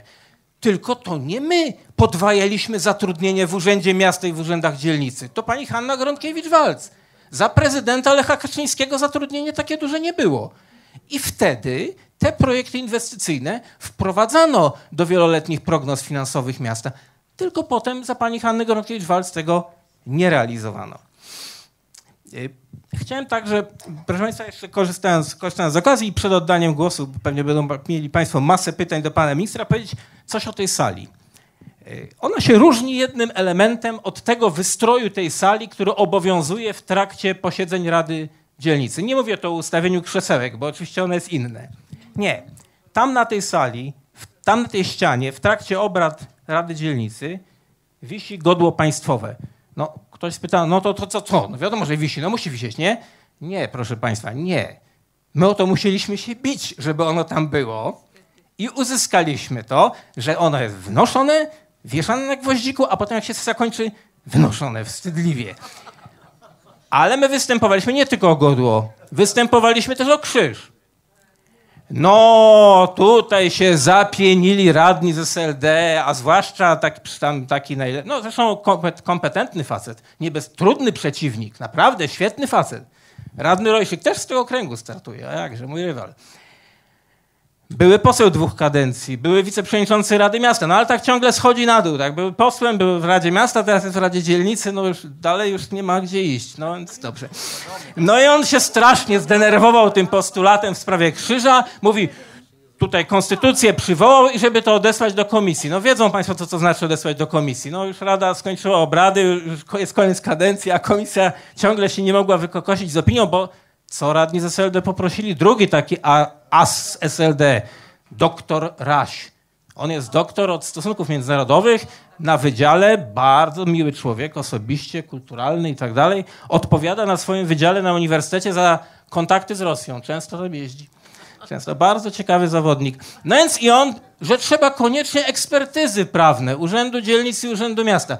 Do Urzędu Dzielnicy, Urząd Dzielnicy szybko odpowiedział, a Urząd Miasta do dziś nie odpowiedział. Urząd Miasta w ogóle tak ma. Ma ogromną, ma największe zatrudnienie. Największa kancelaria prawna w mieście, ale jak trzeba coś przygotować, to nie ma czasu. No, wczoraj tu na tej sali opiniowaliśmy zmiany w tak zwanej uchwale kompetencyjnej. Uchwała kompetencyjna mówi o tym, czym się ma zajmować miasto, a co oddaje się, jakie zadania oddaje się dzielnicy. To nie wszystko, ponieważ nie wszystko wynika z ustawy, więc część tego ustala się w uchwałą. Proszę Państwa, i mówi się tak, no ta uchwała jest tak zrobiona, żeby dostosować to do, do, do zmienionych ustaw. No fajnie, czytamy to uzasadnienie i tam jest tak. Do ustawy, którą zmieniono w 2010 roku, w 2011 roku, czyli oni cztery lata, to biuro prawne, jak coś trzeba, na przykład wydać opinię, że na przykład nie można manifestacji gdzieś przeprowadzić, to biuro prawne w ciągu 15 minut podejmuje taką decyzję. Ale jak trzeba dostosować jedną uchwałę do drugiej ustawy, chociaż tam wszystko jest napisane czarno na białym, to naprawdę jest praca dla aplikanta adwokackiego na dwa dni. No to im to zajmuje cztery lata. A jak, proszę Państwa, zirytowany, nie powiem, tym, co się dzieje w tym dzielnicowym biurze finansów oświaty, o którym już mówiłem, a zebrałem grubą teczkę materiałów w tej sprawie. Postanowiłem sobie tak, powiedziałem no co ja będę pisał do burmistrza? On mi odpowiedział, że wszystko jest w porządku, bo już mi tak odpowiadał. Napisałem do CBA, do Centralnego Biura Antykorupcyjnego. No dobra, no to nie jest biuro z panem Mariuszem Kamińskim na czele. Jest tam inny pan, Paweł Wojtunik, ale są tam porządni funkcjonariusze. Zależy, który to dostanie na biurko, jakaś tam będzie decyzja. Przyjęli, odesłali do pani Hanny Gronkiewicz-Walc z, z pismem, że ma puścić tam kontrolę. Przyszło biuro kontroli, czesało przez miesiąc papiery, sporządziło protokół pokontrolny w kwietniu. Protokołu wynika, że to wszystko się zgadza, co tam napisałem. Że tu siuchta, tam bez przetargu, tu płacenie kierowcy więcej niż głównym i starszym specjalistom. Kierowca serdeczny przyjaciel pana dyrektora, żeby nie było. E, tu, proszę Państwa, y, no dziesiątki takich drobnych i mniej drobnych rzeczy, ale też i grubych. Tu samochód kupiony bez przetargu który, który używano tak intensywnie, samochód służbowy, że jak wyliczyli inspektorzy z biura kontroli, koszt przejechania jednego kilometra to był 17 zł. Ktoś z Państwa wie, ile kosztuje przejechanie kilometra w Warszawie taksówką? No, dwa, trzy. Maksymalna cena trzy, to jest w uchwale, nie wolno więcej. A tam jeżdżono 15 zł 97 groszy od kilometra. Tak wyliczyli inspektorzy. Dobra, no więc jest ten protokół pokontrolny. On nawet w sierpniu został już podpisany. No to ja zacierałem rączki, wrócę z wakacji, państwo sobie go przeczytają. Jest w tym protokole, że to, że to na mój wniosek ta kontrola. No więc tak, tego, czemu nie? Niech publiczność wie.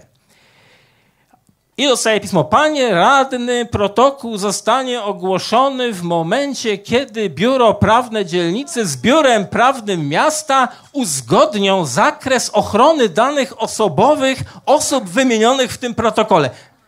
Państwo myślą, że uzgodnili do dzisiaj? Nie, no moim zdaniem uzgodnią 17 listopada, żeby to się nie ukazało przed wyborami. I tak to z nimi jest, proszę Państwa. I tak to z nimi jest. Na Komisji Bezpieczeństwa przygotowaliśmy, na mój wniosek z dużym moim udziałem, ale nie powiem, taka radna Stawicka była. Przyzwoita dziewczyna, już, już nie kandyduje z SLD, z SLD. I przygotowaliśmy taki projekt z pełnym poparciem mojego klubu całego, w sprawie proponowanych zmian uchwały o handlu alkoholem w Warszawie. W szczególności kwestia sklepów 24-godzinnych, odległości od kościołów, szkół, przedszkoli, innych obiektów chronionych. Tak, państwo my... i co? I państwo myślą, jak było dalej. Ja państwu opowiem, to niezła historia. Na komisji zdołaliśmy przekonać nie tylko tych, którzy nad tym projektem pracowali, ale wszystkich. I radnych Platformy, i radnych SLD, no oni wszyscy pracując w tej Komisji Bezpieczeństwa wiedzieli, że ogromna część zagrożeń bezpieczeństwa na terenie tej dzielnicy porządkowych wynika właśnie z tych but 24H. I hałas, i przepraszam, zanieczyszczanie bram i podwórek, i zaczepianie dzieci, i tak dalej. No nie będę tu się wdawał w szczegóły, każdy mógłby o tym długo opowiadać. Jednogłośnie komisja to przyjęła. Dobra, posłaliśmy na Komisję Zdrowia, która się zajmuje walką z alkoholizmem, żeby to zaopiniowała. Też zaopiniowała pozytywnie. Świetny projekt, stanowiska, tak oczywiście. Dobra. Przychodzimy na radę. na Radzie Burmistrz, ten, ten od przyznawania koncesji. I były przewodniczący klubu Platformy Obywatelskiej. Sam ma sklep z alkoholem. Zaczęli prze, przemówienia. Jeszcze przyszedł taki, oni mają takiego nadzorcę z ramienia miasta, taki partyjnego, nazywa się pan Jan Orgelbrand. Ja go znam, pamiętam go jako dziennikarza, pracował w sztandarze młodych. No, w świecie młodych potem też, ta. Przyszedł, patrzę jak kto głosuje. No jak państwo myślą, jak zagłosowali? Odsyłamy do komisji. No tak, oczywiście. I oczywiście utopiony ten projekt. Ale proszę państwa, ale jeżeli zostaniemy wybrani w większej liczbie, to my do tych wszystkich projektów wrócimy. Nie ma tak, że, że coś niknie w szufladach i nie wraca. To wszystko jest gotowe. My mamy projekt kierowania sprawami Mokotowa w stałym kontakcie z mieszkańcami i realizując te projekty, które zostały zgłoszone do programu. Myślę, że i tak mówię za długo, więc nie będę już e, wspominał o innych rzeczach. Chciałem teraz Państwa prosić o, o że tak powiem, podchodzenie tego mikrofonu z pytaniami. Myślę, a panu ministrowi oddam mikrofon z możliwością odpowiadania, albo mnie, no zależy do kogo będą pytania, czy, pan do, czy do pana Patryka Górskiego, no, czy do jakiejś innej osoby, gdyby pytania były. To jasne. Mamy całe 27 minut niestety, bo 37 do 20 i potem będą nam gasić światło. Ja po ciemku też mogę gadać, ale to już chyba za długo. ostatni gasił.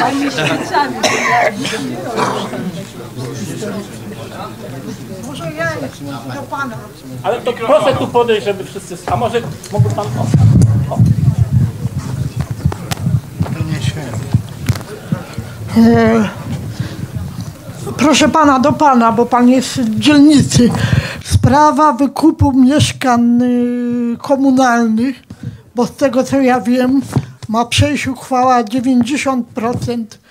Jak państwo to, to weźmiecie, bo te mieszkania komunalne absolutnie nie można wykupić pod pozorem, pod pozorem, że grunty nie są moje i tak dalej, itp. Nie będę już tutaj zawracać, ale wiadomo o co chodzi. Na Dobra. przykład ja nie mogę w ogóle tego mieszkania wykupić, ponieważ no, mam z tymi gruntami pod, pod no, tamtego. I tutaj chodzi, robiliśmy zebrania te lokalne i dopóki się tej uchwały nie, prze, nie, prze, nie przepchnie, to w ogóle jest umarł w butach. No. Już, już odpowiadam. E, w programie Prawa i Sprawiedliwości, a także w programie naszym dla Mokotowa, ale to, te rzeczy to są do rozwiązania z poziomu miasta, a nie z poziomu dzielnicy. Rzecz wygląda tak. Są rzeczy, które może miasto, miasto może, Rada Miasta może zmienić swoją uchwałę w sprawie zasad wykupu mieszkań komunalnych. To doty- także mieszkań spółdzielczych, to jest odrębna sprawa, ale to też może zrobić Rada Miasta w tej kadencji woli politycznej po stronie Platformy Obywatelskiej nie było. Ona tego nie chce, a my tego chcemy. My chcemy powrotu do stawek takich, jakie były dawniej, z tego względu, że ludzie tu mieszkają w mieszkaniach po kilkadziesiąt lat, inwestowali w te mieszkania. Są jakby, no, jeżeli tam się człowiek urodził, czasem rodzi się jego rodzice, to mówienie człowiekowi, że to jest coś, co on ma wykupywać bez, no, z jakąś tam bonifikatą 50%, która jest dla większości warszawiaków za wysoka, jest niegodziwe, bo to znaczy tyle, że się chce uwłaszczać mieszkaniami tylko bogatych. My się na to nie zgadzamy. Uwłaszczenie mieszkań powinno być dostępne dla wszystkich warszawi uczciwych warszawiaków. I druga sprawa, która nie jest do zrobienia na poziomie miasta, to jest kwestia tych mieszkań, które są w budynkach na terenie działek, do których są roszczenia. To jest do zrobienia z poziomu Sejmu. Sprawa gruntów warszawskich jest generalnie tak, jak została zabagniona dekretem Bieruta, tak po 89 pozostaje zabagniona. Prawo i Sprawiedliwość, tu mogliby posłowie coś, pan poseł, nie wiem, czy pan poseł Artur Górski, jeszcze na pewno pan poseł Antoni Macierewicz mógł coś więcej powiedzieć, po stronie Prawa i Sprawiedliwości jest wola uporządkowania tej sprawy na terenie Warszawy, bo Warszawa jest szczególnym miastem, które tym dekretem Bieruta zostało ukarane za to, że się dzielnie broniło we wrześniu 1939 roku, potem w Powstaniu Warszawskim, że walczyło i potem, że było niszczone przez te specjalne ekipy niemieckie. Innych miast polskich to nie dotknęło. Innych miast polskich to nie dotknęło. Moi znajomi z Lublina się dziwili. To my już mówią w 90 roku odzyskaliśmy kamienicę, a co, a ty jeszcze nie? Twoja rodzina jeszcze nie? Bo akurat tak się składa, że moja prababcia miała na Solcu kamienicę. No. Którą, którą po, swoim, po swoim ojcu cieśli warszawskim odziedziczyła. No. No ale my się o to nie staramy. My czekamy, aż prawo będzie równe dla wszystkich. Nie chcemy na zasadach uprzywilejowanych. To może zrobić tylko Sejm. Ko- Mieszkam w budynku w 70 roku wybudowanym. No.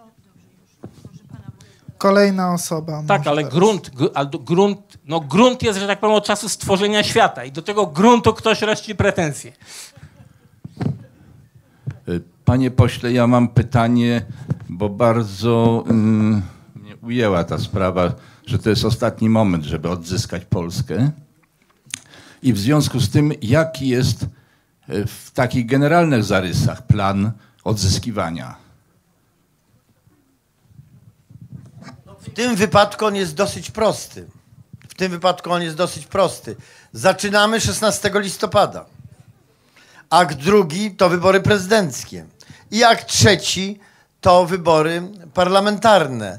Także jeżeli chodzi o to, co możemy i musimy zrobić jako cała społeczność, to musimy przywrócić od samego dołu do samej góry władze rzeczywiście realizujące wolę Polaków. Jak mówiłem, nasze hasło, choć wydaje się banalne, oddaje istotę problemu. Słuchać ludzi i odbudować, odbudować Polskę. Słuchając ludzi, zmieniać Polskę bowiem ona musi ulec zmianie. Ona musi ulec zmianie w wymiarze przede wszystkim społeczno-gospodarczym. Ona natychmiast musi ulec zmianie w wymiarze obronnym, po prostu obronnym. No, nie chcę za dużo opowiadać, ponieważ rzeczywiście mamy te 37 minut e, e, i potem musimy skończyć, ale naj, w skrócie powiem Państwu, jak wygląda sytuacja w tej mierze. Plan wydatkowania 130 miliardów złotych, największej sumy pieniędzy, jakie Polacy kiedykolwiek, a już na pewno po roku, po roku 89 wydali na zbrojenia. Ten plan oparty jest na y, y, y, diagnozie zrobionej przez Biuro Bezpieczeństwa Narodowego, podpisanej przez pana prezydenta Rzeczpospolitej Bronisława e, Komorowskiego i zaopiniowanej przez 200 e, wybitnych e, ekspertów, nieprawdopodobnie wybitnych ekspertów, zwłaszcza mówię o tych kilkunastu, którzy byli tajnymi współpracownikami Służby Bezpieczeństwa i doradzają teraz panu prezydentowi. Otóż ten plan zakładał, na jego podstawie są wydatk- będą, mają być wydatkowane te pieniądze na polskie zbrojenia. 130 miliardów złotych. Ten plan za- zakładał, że przez najbliższych 20 lat w ogóle nie będzie wojny, a z pewnością nie, możemy, nie, nie, nie musimy się obawiać jakichkolwiek agresywnych zamiarów ze strony Federacji Rosyjskiej. I na podstawie takiej diagnozy i takiego planu my mamy teraz wydać 130 miliardów złotych y, y, w najbliższym czasie. Czyli wydać pieniądze po to, żeby różni ludzie mogli, e, mogli je zarobkować, a nie po to, żeby mieć wojsko. Więc to jest na przykład rzecz natychmiast do zmiany. Natychmiast do zmiany w tej dziedzinie jest odbudowa obrony terytorialnej kraju. To trzeba zrobić jak najszybciej, bo jesteśmy jedynym krajem e, w, e, nie tylko Unii, ale i w NATO, który nie ma obrony terytorialnej kraju. To jest gigantyczny kompleks działań, które trzeba natychmiast podjąć, ale najpierw gospodarka, ale najpierw uporządkowanie spraw społecznych. Ale tego nie zrobimy i gadanie o tym, że to można zrobić, dopóki nie odzyskamy, że tak powiem, suwerenności w Sejmie i suwerenności w Urzędzie Prezydenckim, to jest po prostu tak jak opowiadał tutaj pan Gogulski, jeżeli chodzi o gminę, to to jest w ogóle, że tak powiem, bez znaczenia. Znaczy, to, to jest gadanie, które nie ma żadnego znaczenia. Jeżeli nie będzie patriotów rządzących tą gminą, jeżeli nie będzie patriotów rządzących Sejmem jeżeli nie będzie patriotów w Urzędzie Prezydenckim, to cała nasza, że tak powiem, cały nasz plan jest do niczego. W ogóle nie będzie mógł wystartować. Będzie jeszcze jedną powieścią science fiction. Z tego musimy sobie zdawać sprawę. Więc najpierw odzyskanie poprzez wybory kierownictwa, kierow, kie- kierownictwa w głównych urzędach i w instytucjach decydujących o statusie państwa polskiego. Bo na razie to jesteśmy w takim stanie, że wychodzi marszałek Sejmu, dawny, siedmiolet, przez 7 lat minister spraw zagranicznych i mówi, co nie widzieliście? Co myśleliście, że było inaczej? Jakżeż? Już od 2008 roku pan premier Donald Tusk proponowano mu i on e, przyjął milcząco propozycję rozbioru Ukrainy razem z panem Władimirem Putinem. A wy o tym nie wiedzieliście? Ciekawe. Tak wygląda stan władz Rzeczpospolitej dzisiaj. Tak on wygląda. Jeżeli on dalej tak będzie wyglądał, to cała reszta e, będzie, że tak powiem, e, bez znaczenia i nie będzie do zrealizowania. Gdy mnie pan pyta o plan, punktem wyjścia w tym planie są, są trzy kolejne tury wyborów, które musimy wygrać. Jeśli ich nie wygramy, zostaniemy zepchnięci do roli narodu, który będzie jedynie narzędziem, będzie przedmiotem rozgrywki silniejszych. Tak będzie. Kolejna osoba. Janusz Piela. Janusz Piela, dobrze mam tu? Tak. E, Panie pośle, mm, e, o sytuacji polskiej wiemy, ci, którzy są patriotami, ja tak, za takiego się uważam, e, to o tym wszystkim, co pan poseł mówił, to oczywiście to są dla nas oczywiste oczywistości. My o tym wszystkim wiemy, bolejemy. I jest, rodzi się pytanie, to, to trwało przez tyle lat, prawda, ta mm, destabilizacja, to y, y, depolonizacja, y, niszczenie przemysłu itd., itp. w każdej dziedzinie i w szkolnictwie, prawda.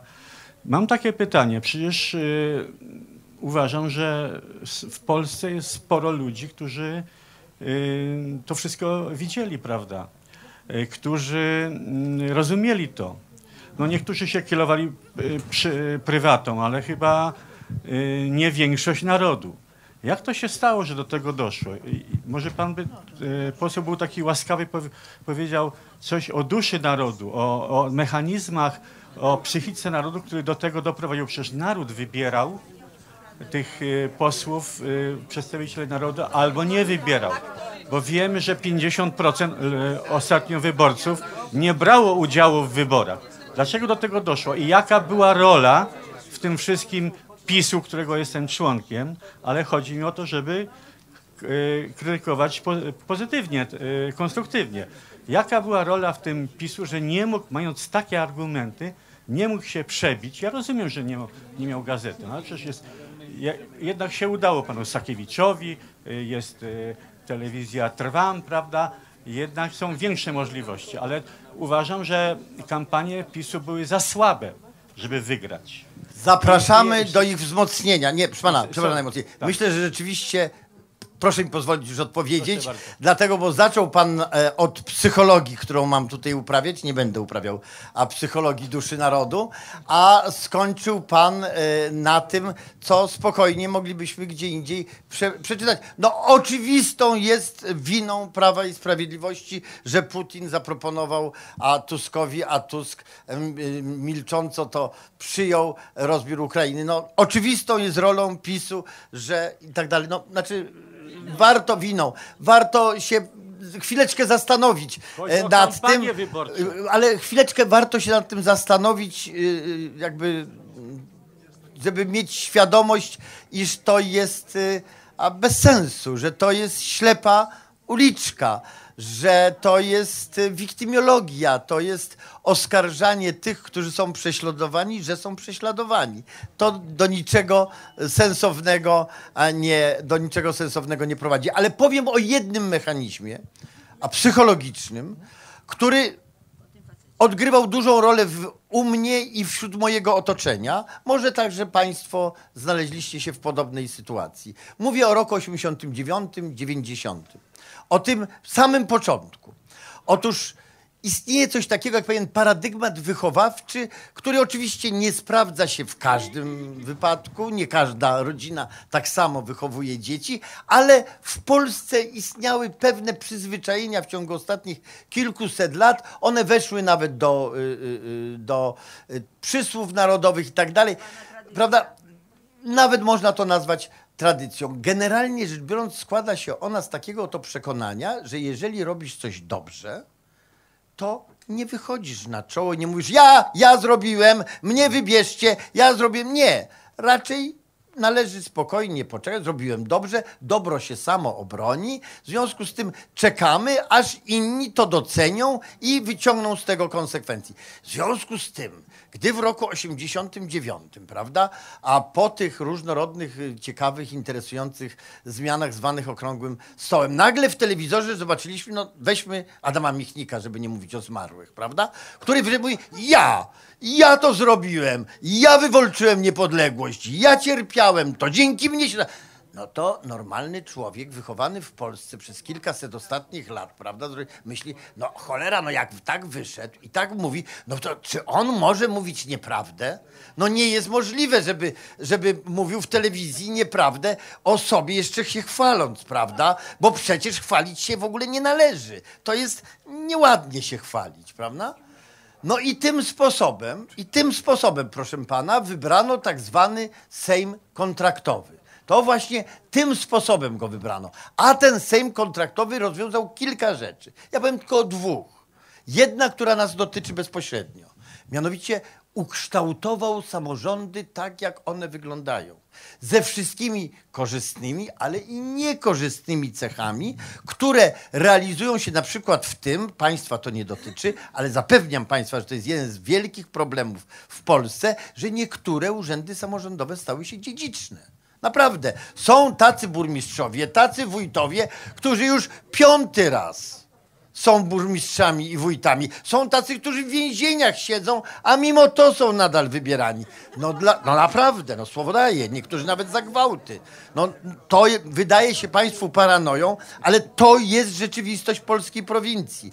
Bo potworzyły się układy sitwowe, gdzie jest pięć, sześć osób, które decydują o, miast, o mieście wielkości 20 tysięcy i już. I nie sposób tam się w ogóle... W jak, to jest między innymi skutek takiej, a nie innej ustawy o samorządach, jaką przyjęto w Sejmie kontraktowym. Druga rzecz, którą wtedy rozwiązano.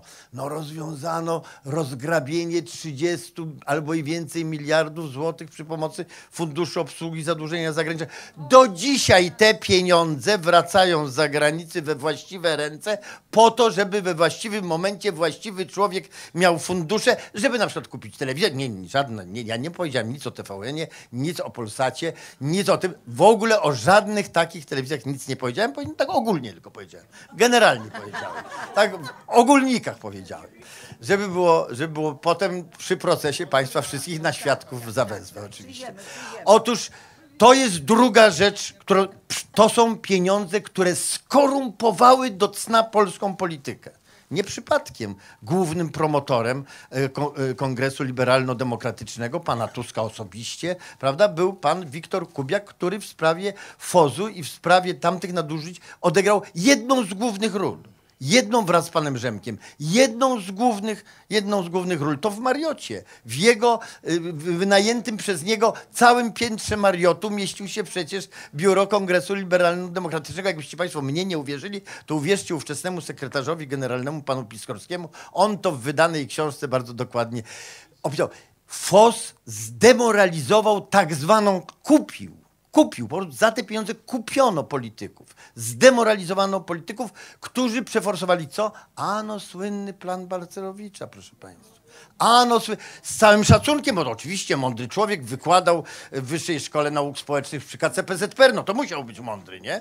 No to jest jasne, prawda? Jak ktoś wykładał, e, prawda, to, to się nazywało ekonomia socjaliz- socjalizmu realnego, jakoś tak to się nazywało, taki był przedmiot. Ekonomia polityczna, tak, tak, ekonomia polityczna, tak. Otóż, no to musiał być naprawdę bardzo mądry, bo zrozumieć tę ekonomię socjalizmu nie było tak łatwo, a on to zrozumiał i jeszcze nie tylko zrozumiał, ale w odpowiednim momencie umiał tak przeskoczyć, żeby będąc facetem, który łamał intelektualnie, że tak powiem, kręgosłupy ludziom, którzy uważali, że własność prywatna to jednak jest coś, co jest istotnego i to na własność, nagle okazało się, że to on mówi, że tylko własność prywatna, no pod warunkiem, że znajdzie się w rękach dawnych komunistów, to wtedy ona jest święta. Wtedy ona jest znakomita najlepsza na świecie. O tym mówię, bo pan mnie pytał, jak to się stało. Ja bym mógł mówić jeszcze 10 godzin na temat, ale tak generalnie rzecz biorąc, to się stało. A istotną rolę w tym. Ale- dlaczego mimo tego ludzie głosowali ciągle na tych złodziei. Dlaczego 90, dlaczego 50% ludzi nie głosuje? Ale jeżeli pan, jeżeli pan pozwoli, to ja panu odpowiadam. To ja panu odpowiadam. Dlatego, dlatego, że pan o to pyta, zamiast pójść razem z Marcinem, ze mną, czy z kimkolwiek innym do ludzi w Warszawie i ich namawiać, żeby głosowali na Prawo i Sprawiedliwość. Bo to jest istota rzeczy. No to znakomicie, to pójdźmy jeszcze raz. No i dobrze. I to jest kierunek właściwy. To jest właściwy kierunek. Co PiS wyniósł z tych lekcji, kiedy przegrywał? Czy będzie teraz lepsza propaganda, e, promocja partii? To też jest pytanie. Nie bądźmy tylko ciągle Jeżeli można, hura dobrze. optymistami. Dobrze. Ciągle jesteśmy hura i przegrywamy. Dobrze, kolejna Pan osoba. powiedział, że ciągle jesteśmy hura optymistami i ciągle przegrywamy. Otóż to nie jest prawda. To nie jest prawda. Z, y, hura optymistą jestem tylko ja, proszę pana. Wszyscy inni są straszliwymi pesymistami, więc ja postanowiłem być hura optymistą, bo inaczej trzeba byłoby się ubrać w białe prześcieradło i czołgać na pobliski cmentarz, a ja tego nie chcę. A ja tego nie chcę. Rozumie pan? I kampanię? Lepiej? tak, proszę pana, prowadzimy tę kampanię. Nie, nie, ale zaraz, moment. Prowadzimy tę kampanię inaczej i prowadzimy ją lepiej. Dlatego, bo ja panu powiem, co się zdarzy w najbliższych y, weekend, na przykład na Dolnym Śląsku. W najbliższy weekend na Dolnym Śląsku posłowie Prawa i Sprawiedliwości odbędą 100 spotkań w ciągu dwóch dni. 100 spotkań, a będzie to 100 spotkań po 100 spotkaniach, które odbyli w ostatnim tygodniu.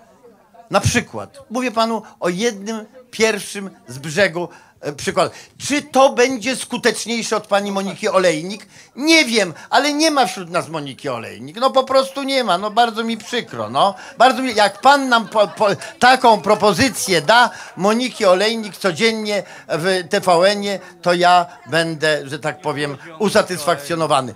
Ale chodzi o to, że pan mówi do mnie troszeczkę tak, proszę pana, jak mówiło do mnie bardzo wielu ludzi w roku 1966, 1968, 1970, 1980, 1982 i, i w porządku. Zawsze państwo mieliście rację, ale to my wygraliśmy. Ale to my wygraliśmy. I teraz jest tak samo. Pan ma rację, ale jeżeli poddamy się Pana racji i uznamy, że jesteśmy przegrani, to wtedy na pewno przegramy. Nie ma co do tego wątpliwości. A jeżeli znakomicie zapraszam Pana do naj, najbliższej, najbliższej sali sejm, sądowej i tam będziemy ofensywni, dobrze? Bardzo Pana proszę. Ja rozumiem, nic dziwnego. Można być rozgoryczonym. Naprawdę to rozumiem. Proszę bardzo. Tak, tak. Dzień dobry, y, Witold Zdunowski. Ja mam Ale jeżeli można, dajcie temu panu mieć swoje zdanie. Ja mam pytanie do, do obu panów, i do pana ministra, i do pana e, Gugulskiego, dlatego że obaj panowie byli e, w rządzie e, premiera Jana Olszewskiego, chociaż pytanie dotyczy dzisiejszej sytuacji, bo ten projekt polityczny jest dalej obecny dzisiaj w Polsce i e, w ostatnim, ostatnim roku zyskuje bardzo dużą popularność, szczególnie wśród młodzieży. Chodzi mi o, e, i dlatego to jest e, sprawa aktualna, chodzi mi o, o, o pana Janusza Korwina-Mikke i o jego rolę w 1992 roku y, w tak zwanej uchwale, uchwale lustr- lustracyjnej Sejmu. Y, Chciałem się zapytać o to, znaczy y, o to chciałem się zapytać, czy on, czy jego ugrupowanie, chyba wtedy czterech posłów to było, konsultowali z rządem pana premiera Olsz- Olszewskiego zgłoszenie tego, y, tego, tego, tego. Ale to, to, niewa- to nieważne w sumie. Czterech ich chyba było. Czy oni konsultowali z rządem pana premiera Olszewskiego mm, zgłoszenie tego wniosku, bo on został zgłoszony w bardzo newralgicznym momencie, jak pan premier Olszewski wrócił z Moskwy i tam, znaczy Wałęsa wrócił z Moskwy, tam chyba zostało zablokowane podpisanie tych umów o spółkach y, polsko-rosyjskich na majątku Armii Radzieckiej. Y, czy właśnie, czy to było w porozumieniu z rządem, czy rząd był przez, zaskoczony przez niego takim, takim wnioskiem? Bo wiadomo, że można to traktować y, jako tak zwaną niedźwiedzią przysługę, czyli po prostu wsadzenie kogoś na tak zwanego konia, mówiąc takim językiem y, y, potocznym, prawda? Czyli wy- wyrządzenie mu właśnie y, takiej niedźwiedziej przysługi. Tym bardziej, że tydzień później, kiedy rząd w, w osobie w osobie pana, pana ministra złożył, y, złożył, y, jakby wykonał tą uchwałę. Pan Korwin-Mikke, y, z tego co wiem, wstrzymał się od głosu, czy w ogóle jego grupowanie podczas głosowania nad utrzymaniem rządu wyszło z sali. A pytam się o to dlatego, że po prostu on jest dzisiaj przedstawiany jako taki właśnie y, liberał, wolnościowiec, który zawsze walczył o wolność i między innymi ten argument, że on złożył wniosek lustracyjny, znaczy o uchwałę lustracyjną w 92 roku jest przedstawiany jako, i to trafia młodym ludziom po prostu bardzo do przekonania, że on o tą Polskę walczył od 20 lat. I chciałem poznać wasze zdanie, jak to, jak to oceniacie. Bo dla mnie jest to kolejny projekt po prostu palikota, tylko na drugim skrzydle. A, znaczy myślę, że jednak jest to dla. Palikota pewnego rodzaju e, pewnego rodzaju komplement, więc bym tego po prostu pewnego bym tego po prostu nie zestawiał. I y, ocenić pan sobie oceni sam, ja panu powiem po prostu jak było, bo ocena należy ocena należy do pana, ważniejsze są fakty, ponieważ a to co pan zrelacjonował, a słuchałem bardzo uważnie i czekałem, aż pan wszystko wypowie, żeby nie sugerować w żaden sposób a panu, y, jak wyglądał rzeczywisty przebieg wydarzeń. No, ma się bardzo mało do tego, co rzeczywiście się działo. Bardzo mało do tego, co rzeczywiście się działo. Otóż y, pan Korwin-Mikke swojej uchwały, gdy ją zgłaszał, nie konsultował, poza tym, że mi powiedział rano, że mają przygotowaną. To mi powiedział, ma przygotowaną uchwałę. No, kamień mi spadł z serca, bo ja też miałem przygotowaną uchwałę i nawet miałem przygotowanego posła ZHN-u, który miał zgłosić przygotowaną uchwałę e, lustracyjną, a to dlatego, że było jasne, że to jest ostatnie posiedzenie Sejmu rządu Jana Olszewskiego, dlatego że dwa dni wcześniej pan Lech Wałęsa zapowiedział, że y, i złożył wotum nieufności wobec tego rządu, stworzył tak zwaną małą koalicję, w imieniu której niejaki pan Jan Rokita a, y, y, złożył marszałka Se Sejmu żądanie odwołania rządu Jana Olszewskiego. W związku z tym, dlaczego tak się stało? No stało się tak dlatego, że dwa dni wcześniej rząd Jana Olszewskiego zablokował panu Lechowi Wałęsie możliwość przekazania e, ziem od, y, od Szczecina, a dokładniej od Świnoujścia, aż po Legnicę w ręce spółek rosyjskich, które składały się głównie z dzielnych funkcjonariuszy KGB i GRU, bardzo inteligentnych, dzielnych ludzi, którzy naprawdę byli gotowi rozgrabić to jeszcze bardziej do dna niż Balcerowicz razem z KLD to zrobili. Słowo daję, naprawdę oni są lepsi, mówię Państwu z ręką, z ręką na sercu, więc my, nam się udało to zablokować. My do tego nie dopuściliśmy, jakoś tak staniemy, żeby się widzieć właśnie, przepraszam, najmocniej. Tak, tak. A e, e, my, to, my to zablokowaliśmy, e, to zostało uniemożliwione przez pana premiera Jana Olszewskiego w bardzo dramatycznych okolicznościach, ale nie będę o tym opowiadał, to nie, nie jest takie ważne. I wtedy pan Lech Wałęsa jeszcze nie wysiadł z samolotu, e, powiedział, że on taki rząd odwoła. I on zwraca się z wnioskiem o wotum nieufności. Do Sejmu była inna konstytucja, inne były kompetencje, inne relacje między Sejmem, rządem i prezydentem. Rola prezydenta była nieporównanie wtedy większa, mała konstytucja niż, niż, jest, y, y, niż jest obecnie. Powstała natychmiast tym zmobilizowana mała koalicja właśnie z Unią Demokratyczną, panem Mazowieckim i tak dalej, i tak dalej, na czele Kongresem Liberalno-Demokratycznym i tam innymi przybudówkami, prawda, która to wotum nieufności wsparła. Wiadomo było, że na tym posiedzeniu Sejmu, że to jest ostatni moment, kiedy coś można w tej sprawie lustracyjnej zrobić. W związku z tym miałem przygotowaną uchwałę, która była troszeczkę inna, ale nie sądzę, żeby tu były jakieś zasadnicze różnice. Gdy dowiedziałem się rano e, od pana Korwinda Mikke, który do mnie podszedł, jest nawet takie zdjęcie, które pokazuje, że tak powiem, tę naszą rozmowę, że mają przygotowaną, no to pomyślałem sobie znakomicie, dużo lepiej, jeżeli taka uchwała powstaje spoza koalicji rządzącej, a y, y, jego partia, jego trzech posłów e, nie było w, ko- w koalicji rządzącej, niż gdyby miała wychodzić ze strony koalicji rządzącej.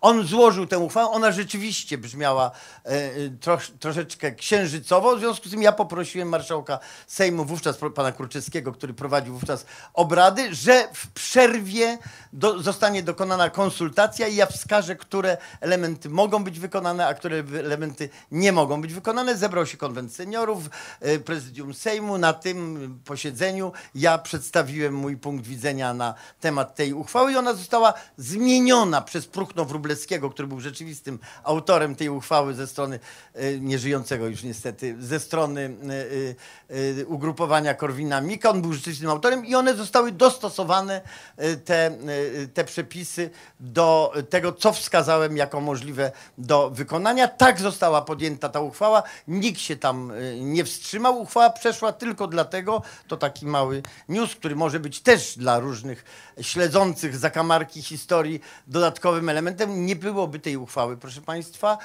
gdyby nie istnienie państwa Izrael.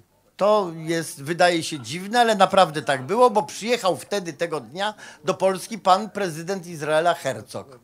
I posłowie lewicy razem z Unią Demokratyczną wszyscy poszli na lunch do Herzoga. Wszyscy poszli na lunch do Herzoga. My mieliśmy, by, prawie nie było, było o dwóch tylko posłów więcej niż kworum. Tylko o dwóch więcej niż kworum, bo właśnie oni wszyscy poszli, myśląc, że po pierwsze dobrze zjedzą, a po drugie złamią kworum i my nie będziemy mogli podjąć tej uchwały. Ale na szczęście o dwóch więcej y, było. Uchwała została przegłosowana. Jeżeli ktoś się wstrzymał, ja się wstrzymałem.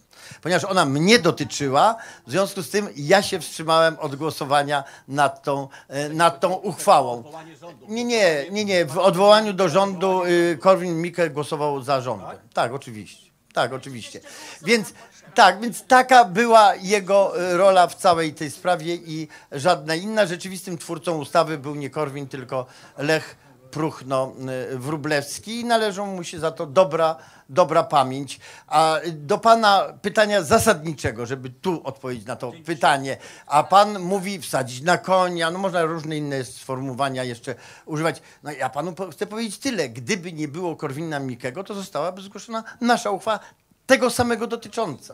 Tego samego dotycząca, bo było jasne dla mnie, że albo my odejdziemy odwołani przez pana Lecha Wałęsę e, i już, i tyle, albo przynajmniej rozpoczniemy proces oczyszczania polskiej e, sceny politycznej i gdyby wówczas e, ta uchwała nie zaczęła być realizowana, nie miałby pan dzisiaj Instytutu Pamięci Narodowej. Nie byłoby całego procesu lustracyjnego, ułomnego, e, bardzo, tak powiem, różnie ocenianego i tak ale który jednak istnieje i w Warszawie może nie odgrywać roli, ale muszę państwu powiedzieć, że kilka tysięcy kandydatów na, y, do y, różnego rodzaju szczebli rad w całym kraju. Wycofało się wtedy, gdy okazało się, że byli tajnymi współpracownikami, że musieliby to wydrukować na listach wyborczych.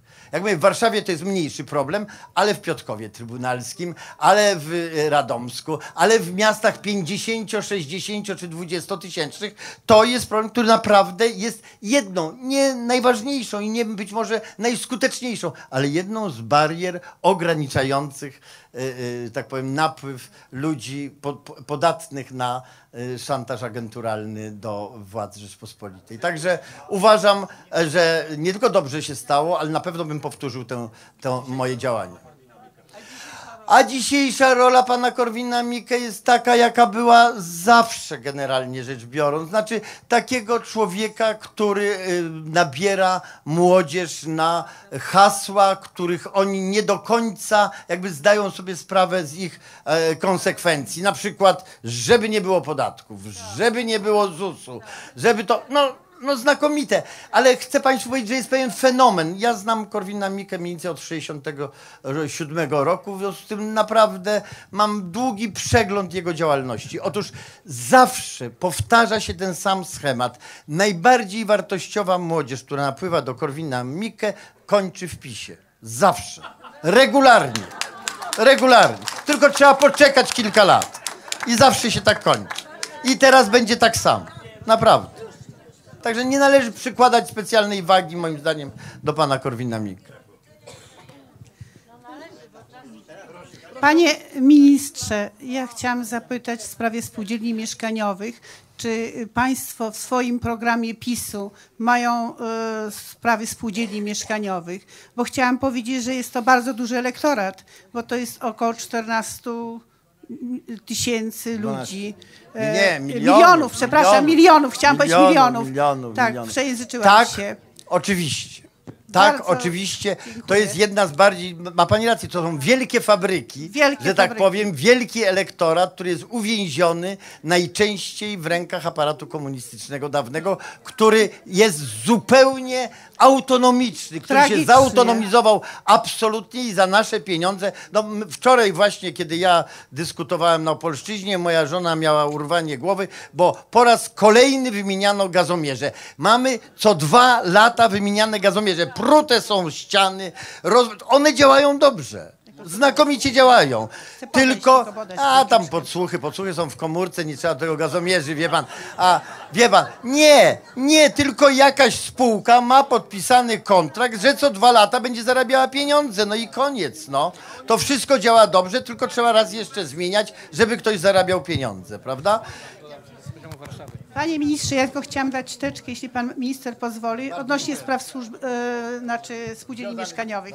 Tak, bardzo dziękuję. Ja tylko dodam, że y, ze spółdzielni przy ulicy Bruna dostałem na, no już jakiś z miesiąc temu tako, takie obszerne dossier postulatów spółdzielców w sprawie możliwości powrotu do krótko istniejącej możliwości wykupu tych lokali właśnie spółdzielczych.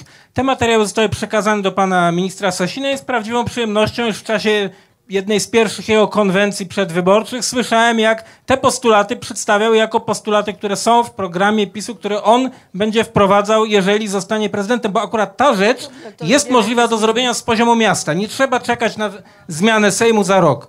To można zrobić, tylko trzeba te wybory wygrać, taki drobiazg, co polecam Państwa uwadze. Dziękuję. Proszę nas. E, Proszę, bardzo proszę, czy mogę się odezwać? Moje nazwisko Prejbisz, jestem z Mogotowa. I wydaje mi się, że chcę poruszyć bardzo ważny temat.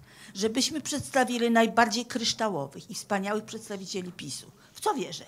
To, proszę Państwa, ja przeżyłam dramatyczną noc, bo byłam jedynym ze strony naszej prawicy przedstawicielem, mężem zaufania w komisji wyborczej. Przeżyłam dramatyczną noc, dlatego że tak straszliwie mnie, tu na Mokotowie, nie uwierzycie, XX wiek, XX wiek, środek Mokotowa.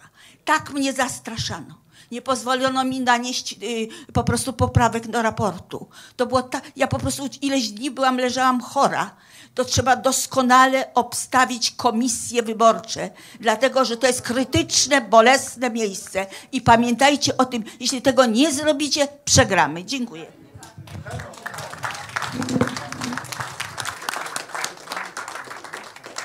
Mogę powiedzieć tylko tyle w tej sprawie, że spóźniłem się trochę i słusznie na mnie pan Marcin Gugulski krzyczał, bo często się spóźniam, ale tym razem spóźniłem się dlatego, że wracam, wracałem właśnie z narady z socjologami, ale nie tylko, z całym sztabem, który przygotowuje aparat e, kontrolny do wyborów. Naprawdę jesteśmy tym razem do tego dobrze przygotowani. Naprawdę. Jest program komputerowy, jest cały sztab ludzi, którzy nad tym czuwają, są wyznaczeni pełnomocnicy, którzy będą kierowali mężów zaufania. Naprawdę tym razem jesteśmy do tego bardzo dobrze przygotowani, więc myślę, że to będzie skuteczne.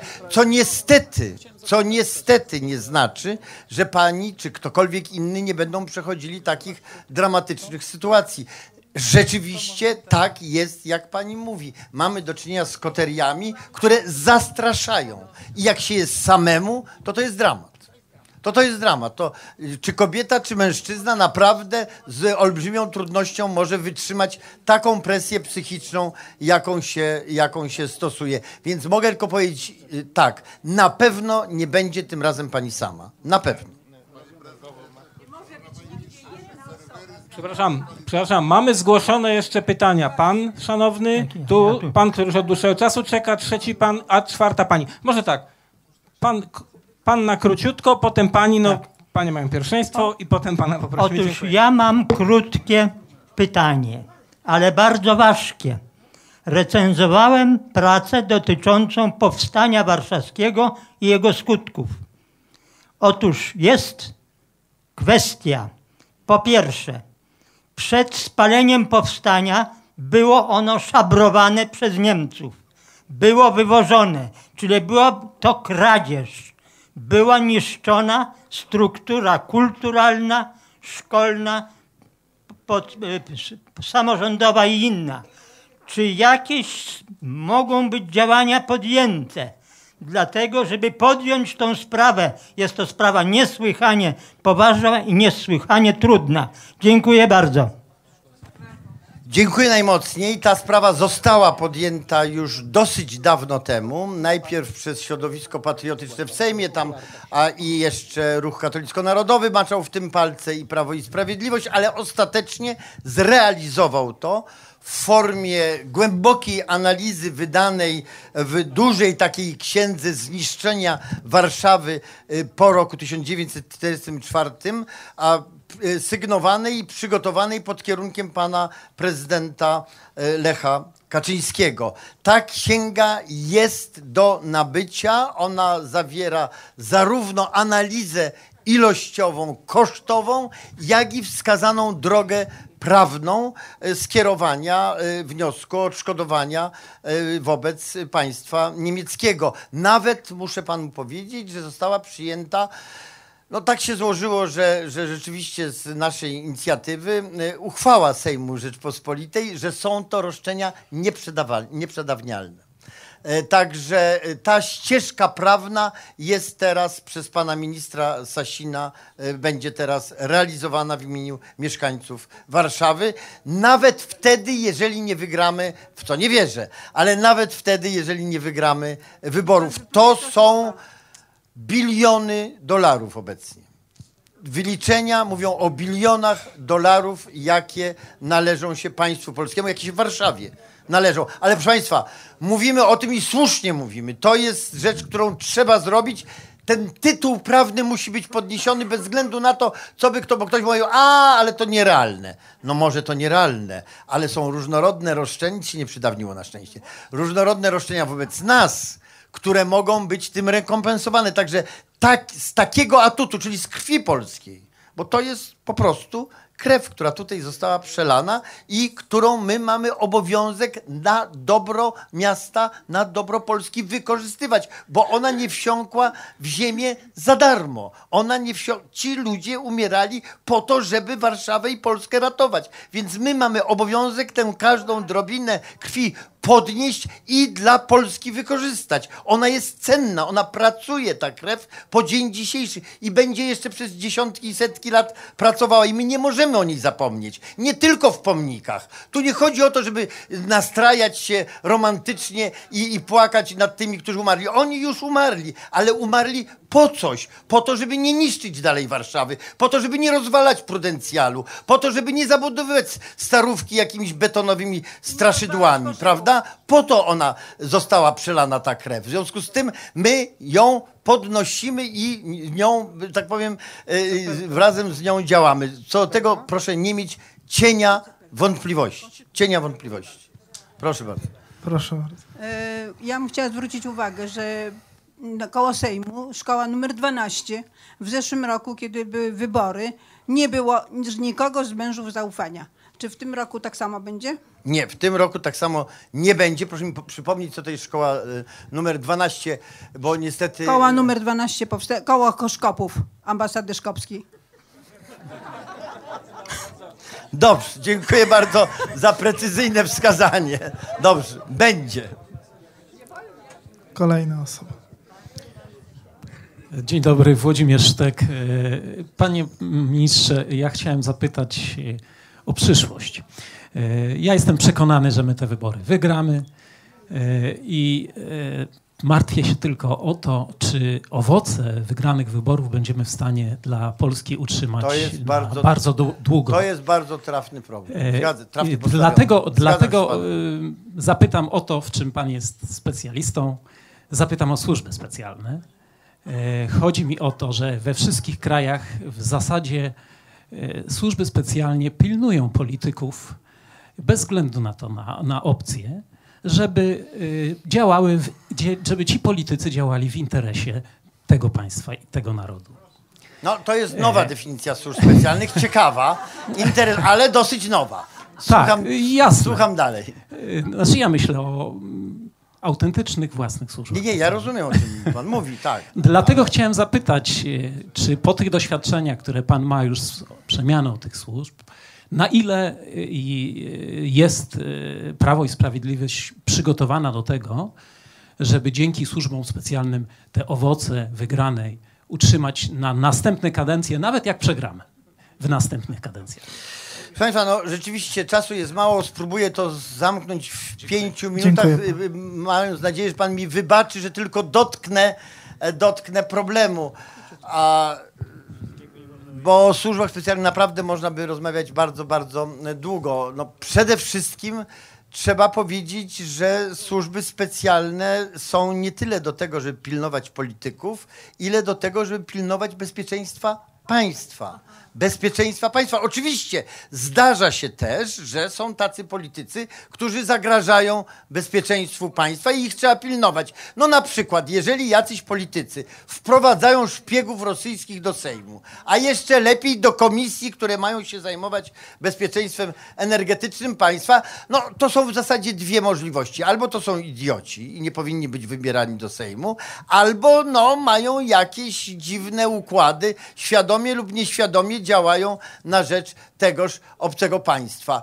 I rzeczywiście, jeżeli do tego jeszcze jest to taka, taka, taka formacja polityczna, która nieustannie zajmuje się lansowaniem e, ludzi wychowanych przez Gieru, prawda? Jeżeli e, jeden z ważniejszych ludzi tej formacji politycznej jest e, członkiem klubu Waładajskiego, gdzie zbiera się lobby publicystyczno-medialno-polityczne, które ma upowszechniać światłą myśl pana Władimira Władimirowicza Putina, no to trzeba się nad takimi politykami, y, nad takimi politykami rzeczywiście zastanowić i w tym sensie bywa, że i politycy wchodzą w zakres y, pracy służb specjalnych, ale służby specjalne nie są do tego, żeby e, pilnować polityków i służby specjalne nie są od tego, żeby biegać z pistoletami po ulicach i udawać Jamesa Bonda. Naprawdę nie są do tego. Tak są i lubią być tak przedstawiane. Lubią, zwłaszcza ludzie z dawnej Jezbecji,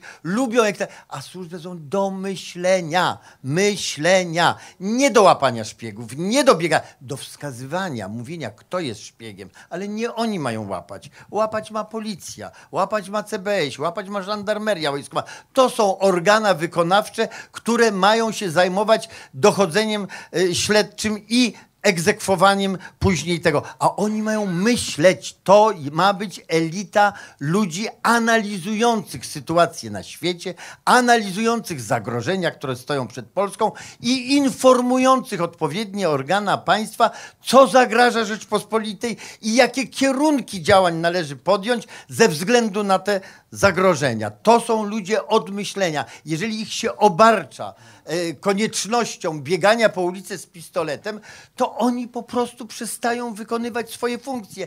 A dlaczego tak się dzieje? Ano dlatego tak się dzieje, że tak naprawdę służby specjalne to są właśnie tacy faceci w zarankawkach, prawda? A, którzy siedzą przy biurku i myślą i czytają, a następnie na podstawie tego, co czytają, formują formują swoją opinię.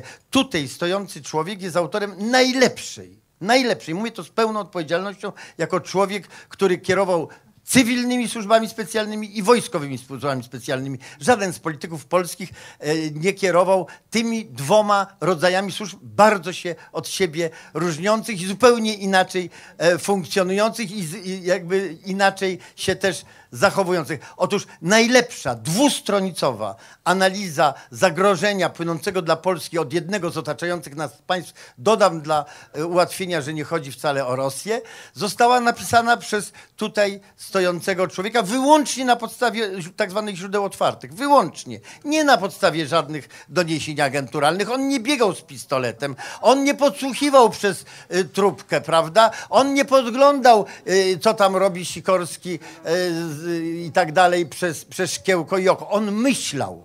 Myślał. Miał postawione zadanie i myślał, gromadził źródła, gromadził informacje, następnie zawarł konkluzję na półtorej strony. Najlepsza analiza, jaka w ogóle została, e, e, została zrobiona. Być może będzie można, zobaczymy. Być może, być może, zobaczymy. Ale na pewno nie z tym autorstwem wtedy. Nawet jeżeli będzie można, to na pewno nie wskazując autorstwa. Otóż mówię o tym wszystkim dlatego, żebyśmy sobie zrozumieli, że służby specjalne, jeżeli się wynaturzają, a polskie od początku były wynaturzone, czyli od roku 89. Zmarły rok temu niecały pan y, Konstanty Miodowicz, który y, był jednym z liderów, podobnie jak pan Sienkiewicz, właśnie tej opcji, która mówiła, słuchajcie, SB może jest niedobra, ale to są inteligentni ludzie. Oprzyjmy polskie służby na SB, na WSI, bo oni się znają. Nie możemy zostawić Polski tak zagrożonej. Musimy ich wykorzystać do pracy dla Polski. W związku z tym dodajmy im jako nadzorców ludzi inteligentnych z opozycji, a oni niech dla nas pracują, bo to będzie najskuteczniejsze dla państwa na y, kilka miesięcy przed śmiercią, bo ten spór toczyliśmy nieustannie, bo ja uważałem od początku, że trzeba te służby rozwiązać i powołać od nowa. I nawet jeżeli 2-3 miesiące będzie większego zagrożenia, to zyski tego dla państwa polskiego w ostateczności będą nieporównanie większe. A wtedy był okres, kiedy właśnie Związek Sowiecki się rozpadał rozpadał. To było po umowie białostockiej, prawda? E, znaczy tam e, białowieskiej, prawda? Kiedy mieliśmy zupełną swobodę ze strony Związku Rosyjskiego i nie mieliśmy nacisku z zachodu ani południa, ani północy i rzeczywiście byliśmy terytorialnie bezpieczni. Można to było zrobić bez żadnego ryzyka. Sienkiewicz, Miodowicz, Milczanowski, ci ludzie związani z Tadeuszem Mazowieckim mówili nie Mamy budować na służbie bezpieczeństwa. Jaki był koniec? Jaka jest puenta tej historii? No puentę tej historii możecie Państwo oglądać w Sowie i Przyjaciołach, prawda? Ten człowiek, który tak budował służby specjalne, Naj, jeden z najinteligentniejszych z nich, pan Sienkiewicz, wybitnie inteligentny człowiek. On właśnie w 1989 roku mówił, trzeba zatrzymać esbecję. W oparciu o esbecję i skończył jako jedyny na świecie minister spraw wewnętrznych, który był podsłuchiwany przez własne służby. To, to jest puenta tego eksperymentu, który doprowadził do tego, że to służby zaczęły rządzić politykami, a nie politycy służbami. Politycy wybierani są przez przez naród po to, żeby twardą ręką trzymać służby za pysk. Bo z natury rzeczy to jest towarzystwo, które dysponując nieograniczoną władzą nad obywatelem, mają tendencję, no jak każdy słaby człowiek, prawda, do tego, żeby tę władzę nadużywać. Jak nie są trzymani mocno za twarz, a do tego, jak jeszcze mają te możliwości śledczo-dochodzeniowe, jak mogą jeszcze z pistoletem wejść do, rano do kogoś i go zaaresztować, to wtedy kończy się tak, jak, jak skończyło się z panem Kwietniem, jak skończyło się teraz z tymi szpiegami rosyjskimi. Znaczy, że krótko mówiąc, następuje e, dominacja aparatu służb specjalnych nad, nad e, e, potrzebami narodowymi, potrzebami państwowymi. I aparat służb specjalnych zajmuje się prywatyzacją, zajmuje się rozprzedawaniem majątku narodowego, zajmuje się zdobywaniem kontraktów na informatyzację, zajmuje się wszystkim, zajmuje się jako podmiot, a nie jako y,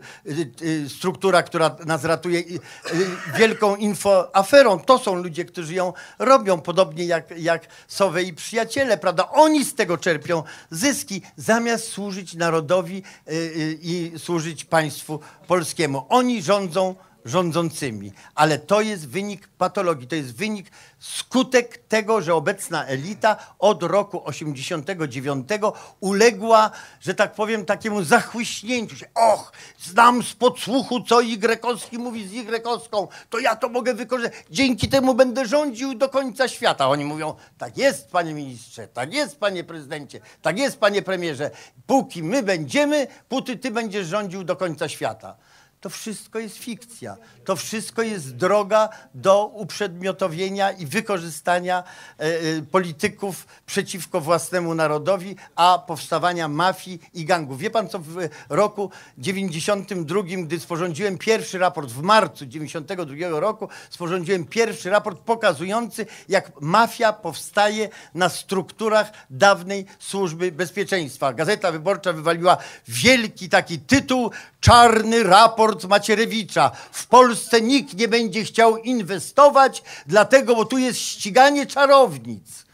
No i taka propaganda, jak się zaczęła, to po dzień dzisiejszy, e, po dzień dzisiejszy trwa. Służby specjalne to są normalni urzędnicy, byle byli jak najinteligentniejsi i dobrani, jak najbardziej wiarygodni, jak najbardziej ufundowani na polskim patriotyzmie, bo oni muszą mieć wiedzę, ale przede wszystkim muszą mieć kręgosłup.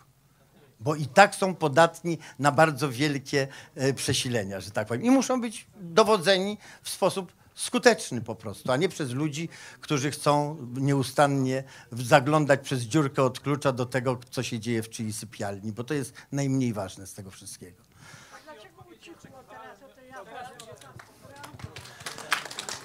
Proszę pani, ja nie wiem, co ucichło, a co nie ucichło, dlatego, bo y, bardzo rzadko słucham TVN-u, głównie Radia Maryja i Republiki, więc nie wiem. A tam ciągle o sprawach poważnych mówią nadal, więc nie wiem.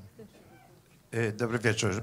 Dobry E, wieczór. Szanowny panie ministrze, trochę wcześniej pan odpowiedział na. Chcę krótkie dwa pytania zadać. Jeden z publicystów, a ściśle mówiąc Stanisław Janecki, powiedział, że ujawnienie taśm tej tak zwanej prawdy to był miękki czy aksamitny zamach e, stanu. Czy po, e, ten pogląd pan w jakiś sposób e, by podzielał, czy nie? I drugie pytanie, też krótkie. PiS trwa ostra dyskusja dotycząca kandydata PiSu na prezydenta. Jakby pan minister zareagował, kiedy tę propozycję by otrzymał od, od PiSu? Kandydowania na Ale- prezydenta naszego kraju. Pan, pan minister. A, ja? Nie, nie, nie. Dobrze, spróbuję, spróbuję odpowiedzieć, spróbuję odpowiedzieć na, na, na oba pytania. Jeżeli chodzi o sprawę pierwszą, a powiedziałbym tak, że to był taki pierwszy widoczny, chociaż nie pierwszy faktyczny, ale pierwszy widoczny, duży ruch ośrodka prezydenckiego do zdominowania e, ośrodka rządowego w Polsce, do przejmowania coraz większego zakresu władzy. Tak uważam. Tak uważam. Nie ostatni, znaczy nie pierwszy i nie ostatni, prawda, ale w dużej skali w dużej skali wykonany. Czy zamach stanu? No nie wiem, no pewnego rodzaju y, walka, y, pewnego rodzaju walka polityczna y, rzeczywiście realizowana przy pomocy ludzi służb specjalnych, przynajmniej dawnych służb specjalnych, ale chyba też w jakimś, w jakimś wymiarze e, współczesnych. Z pewnością tak, ale nie wiem, czy bym nazwał to zamachem stanu. No, trudno mi jest to powiedzieć, bo jeżeli to nazwał zamachem stanu, to jakbym miał nazwać to, co zrobił e, pan, e, pan marszałek Sikorski, prawda? No to on zrobił już super zamach stanu. Więc wie pan, my jesteśmy w takich czasach żyjemy, w których najpierw wydaje nam się, że to jest trzęsienie ziemi, a za chwileczkę mamy e, zupełny kataklizm, prawda? I już nie widać, tak, pandemonium, prawda? I już nie widać szczytu tych coraz większych tych, no po prostu ten układ rządzący się rozsypuje. Po prostu on się rozsypuje, po prostu walczy między sobą brutalnie i jedyna rzeczywista siła narodowa, jaka jest, jest Prawo i Sprawiedliwość. Dlatego też ja się specjalnie nie przejmuję ani tych ich dążeniami do fałszowania wyborów, ani tą propagandą nachalną, ani, że tak powiem, e, tym wszystkim, co tutaj, ani tymi groźbami, które na nas spadają, kalumniami i tak dalej. To wszystko nie ma znaczenia, bo to jest, to jest wszystko działanie mające na celu jak najdłużej prze, przechowanie władzy i utrudnianie nam y, uratowania kraju, ale w czasie. Oni grają na czas, bo to, że oni z tego wyjdą, że tak powiem, w najlepszym wypadku y, na, na, na plażach w y, Portugalii, to jest, tak powiem, pewne. Na pewno nie tutaj. Na pewno nie nad Bałtykiem. Za- Zapewniam pana, że nie nad Bałtykiem. To, że krótko mówiąc, to jest formacja schodząca, to ja nie mam co do tego cienia wątpliwości. Cień, przyszłością Polski jest front patriotyczny skupiony wokół Prawa i Sprawiedliwości. Na pewno. Problem tylko polega na tym, czy będziemy w stanie jeszcze kraj uratować wtedy, kiedy będziemy zdolni władzę przejąć. Bo to, że ją przejmiemy, to jest bezsporne. Oni grają na czas. Oni grają właśnie na te 3,5 miliarda, które przy okazji e, urwali, prawda? Oni grają na te afery, które są częścią e, e, realizacji zadania rozgrabiania, rozgrabiania e, Polski. Oni grają ten e, pakiet klimatyczny. No zdajcie sobie sprawę, że pakiet klimatyczny jest w istocie wyrokiem wydanym na polskie górnictwo węglowe. To jest wyrok, to jest wyrok na polską energetykę. Wyrok. Prawda? Więc, y, y, więc tutaj nie ma wątpliwości, że- to nie są idioci, naprawdę. Z całym szacunkiem, to nie pan Jacek Wincent Rosowski jest bardzo inteligentnym człowiekiem, bardzo inteligentnym. A proszę? No możliwe, tak. Znaczy, że w tym klubie jest, tak? Bardzo możliwe, nie wiedziałem nawet, ale naprawdę jest bardzo inteligentnym człowiekiem i zna się na rzeczy i wie, jak Polska jest niszczona. Wie naprawdę bardzo, jak krew z Polski jest wypompowywana, prawda? Więc tutaj nie o to chodzi, tutaj tylko chodzi o to, żebyśmy my byli zniechęcani. Tutaj tylko chodzi o to, żebyśmy toczyli takie bezsensowne dyskusje, w którym zamiast y, przygotowywać się do przejęcia władzy, atakuje się Prawo i Sprawiedliwość. No to jest po prostu działanie e, kontr, kontrskuteczne, bezsensowne po prostu. A więc tak wygląda ta sprawa. Jeżeli chodzi o, y, o kandydaturę, będzie kandydatura, to będzie znakomita kandydatura i zostanie wyznaczona przez władze Prawa i Sprawiedliwości i to nie będę ja. Dobry Dobra. wieczór.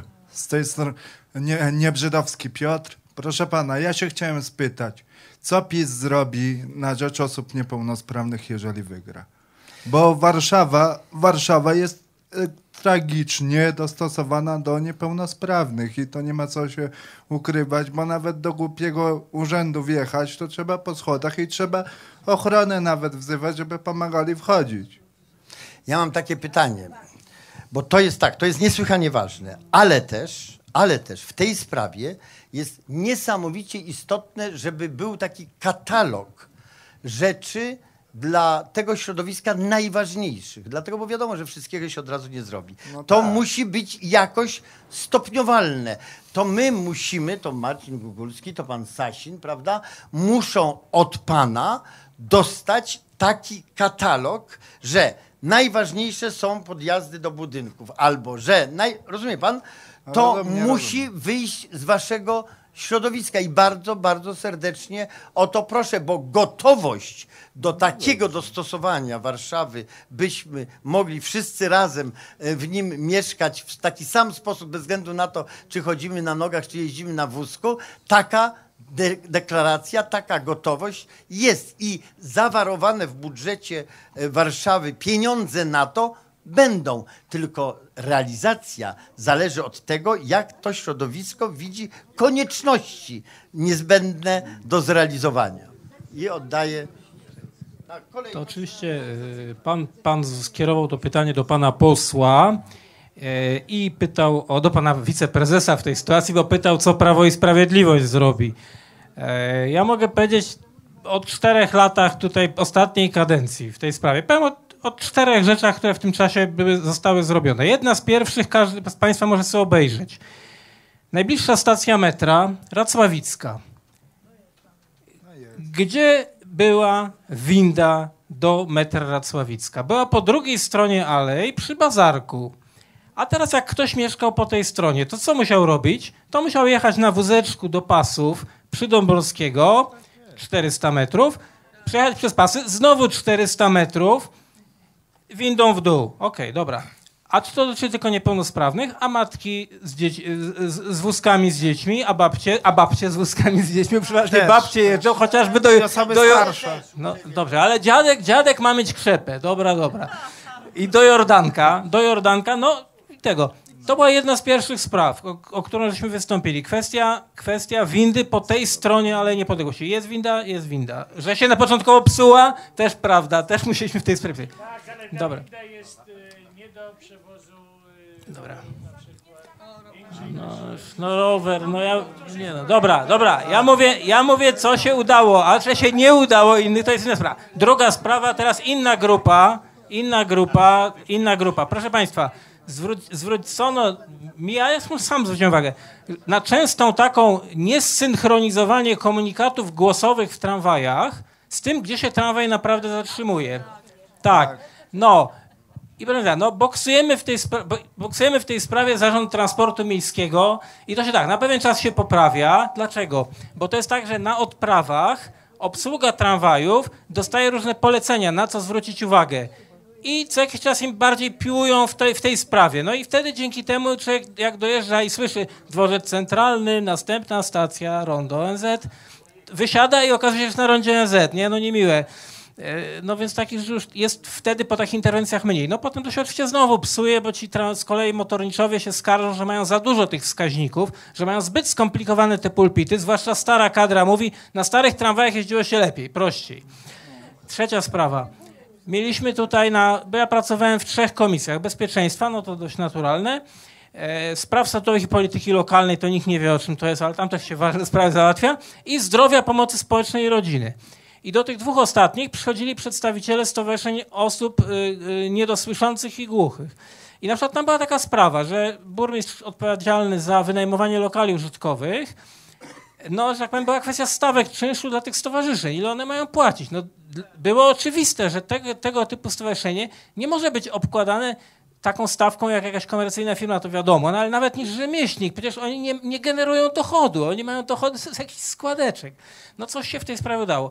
Tam potem był jakiś taki też lokal, który im dawano, był do niczego, no jak to się mówi, ale działamy tak. Czasem się samemu coś zauważy. No idę chodnikiem, potykam się o płytę, bo ja generalnie nie, nie mam samochodu, nie jeżdżę samochodem, czasem mnie żona wozi, więc dużo chodzę, nie? Dużo chodzę, jeżdżę na rowerze i, i, i komunikacja miejska, nie?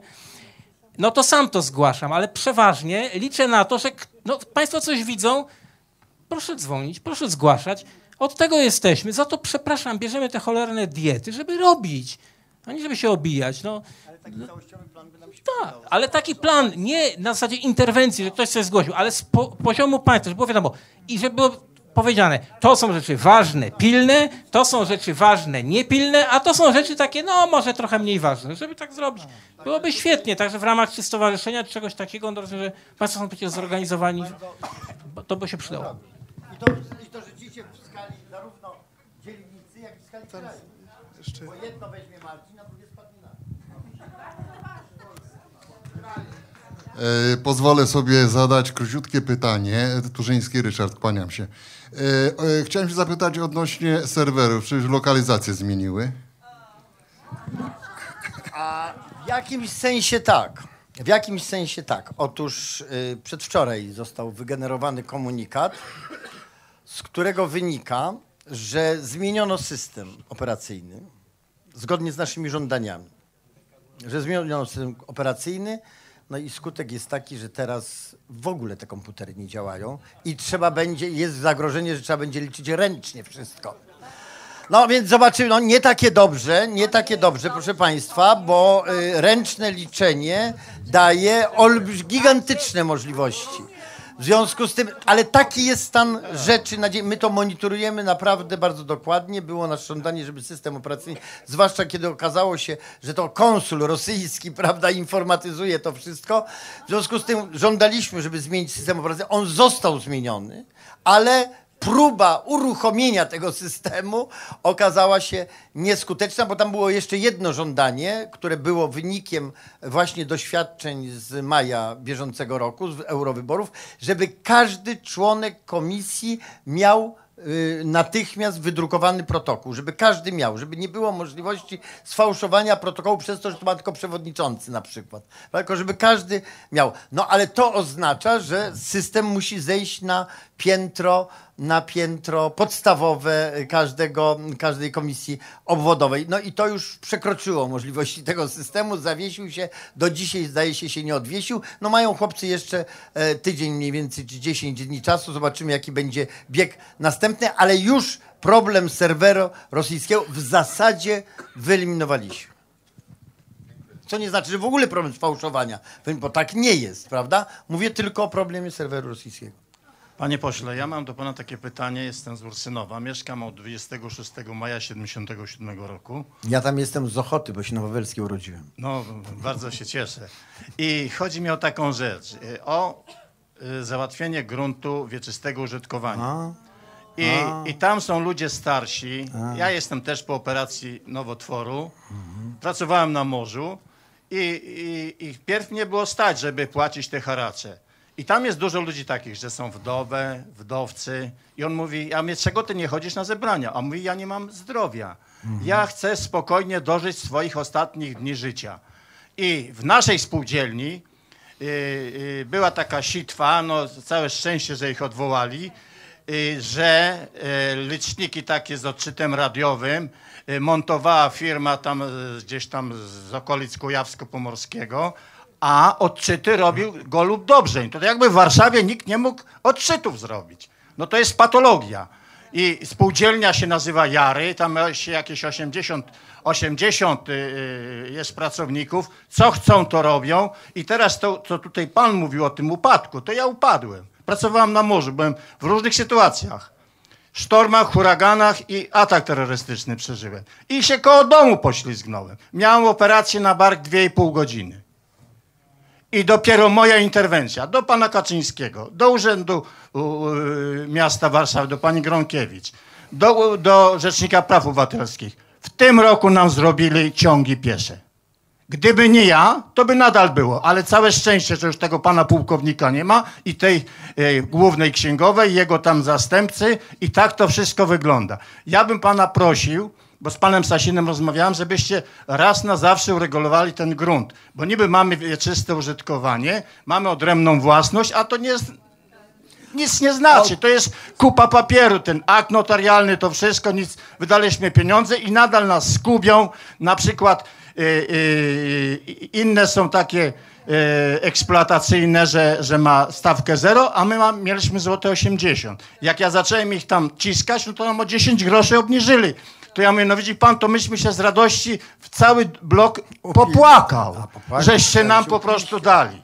I jeszcze powiem odnośnie poprzednich wyborów. Byłem mężem zaufania i była taka pani z PO, to powinna dostać europejski certyfikat piękności. Taka była piękna. Taka była... Dobrze, to świetnie. Cudzysłowie oczywiście, chodzi o samą aparycję. I ona tak tam oszukiwała, ja my, dlaczego duszę pani... miała piękną. No, może, no. widzi pan, no tac, takie jest to społeczeństwo u nas, że, że po prostu no, albo ma jakaś apatia ich ogarnęła, albo po prostu y, no, ogłupienie nastąpiło. Dlatego proszę pana, żeby pan y, y, no, coś zrobił, żeby to wieczyste użytkowanie zostało zlikwidowane, tak jak zrobili we Wrocławiu, bo bali się, że przyjdą Niemcy i odbiorą swoją własność. Dziękuję. Dziękuję bardzo, bardzo chętnie, zwłaszcza, że zajmowałem się sprawą u, użytkowania wieczystego od roku 1997, więc rzeczywiście mam w tej sprawie a pewne doświadczenie i pewną wiedzę, chociaż są w PiSie dużo bardziej kompetentni ode mnie ludzie, którzy się tym, y, tym zajmują. Tutaj pan minister Jurgiel niewątpliwie wie dużo więcej i on tak naprawdę na niego spada. Bardzo, bardzo chętnie podejmiemy tę sprawę i ona znajduje się w naszym e, programie natychmiast, jak tylko będziemy mogli ją przegłosować większością głosów, bo niestety Platforma Obywatelska i to trudno sobie wyobrazić, niech pan sobie wyobrazi, tacy są prospołeczni, tacy są pronarodowi, tacy są dla wszystkich dobrzy, a tego jakoś nie chcą zrobić, wie pan? Jakoś coś tu z tymi gruntami mają, coś w tych gruntach może, naprawdę myśli pan, że chodzi o pieniądze? Nie chcę tego pomyśleć nawet, ale gdzie to nie przekupni ludzie, absolutnie. Widziała pani tego faceta z zegarkiem złotym tego Nowaka, no i pani mówi, że on przekupny jest, no skończy. Dobrze, mówię te, a teraz serio mówiąc, przyjmujemy to do sztambucha, wpisujemy na listę naszych priorytetów. Proszę Państwa, y, organizatorzy, organizatorzy tutaj, właściciele tego budynku mówią, że możemy siedzieć do rana, a oni za każdy kwadrans następny nam policzą, więc są bardzo zadowoleni, że to tyle trwa. Poseł Artur Górski pewnie trochę mniej, bo on płaci. Y, Ale widzę, że pytań, zgłoszeń do pytań więcej już nie ma. Y, Chciałem Państwu bardzo serdecznie podziękować i powiedzieć taką jedną, refleksję na zakończenie. Proszę Państwa, rozmowy o Polsce, wielkie sprawy, drobne sprawy, to wszystko jest szalenie ważne. A potem jest taki moment bitwy. I jak to mówił w 1989 roku, słyszałem takiego pana, który nam się przedstawił tak. Ja byłem w komisji wyborczej w 37 i w 46 i powiem wam, chłopy, bo to było na wsi pod Gliwicami, jak jest papiery wziąć, okulary, Długopis jeden. Drugi, bo jakby się pierwszy wypisał. Ściągawkę se przygotować, sobie nie pomylić na kogo głosować. No. A jak kto siedzi w komisji, to patrzeć na łapy, na siku nie wychodzić. A wychodzić wtedy, jak mąż zaufania przyjdzie, wtedy niech mąż zaufania się gapi, a wy tylko wtedy.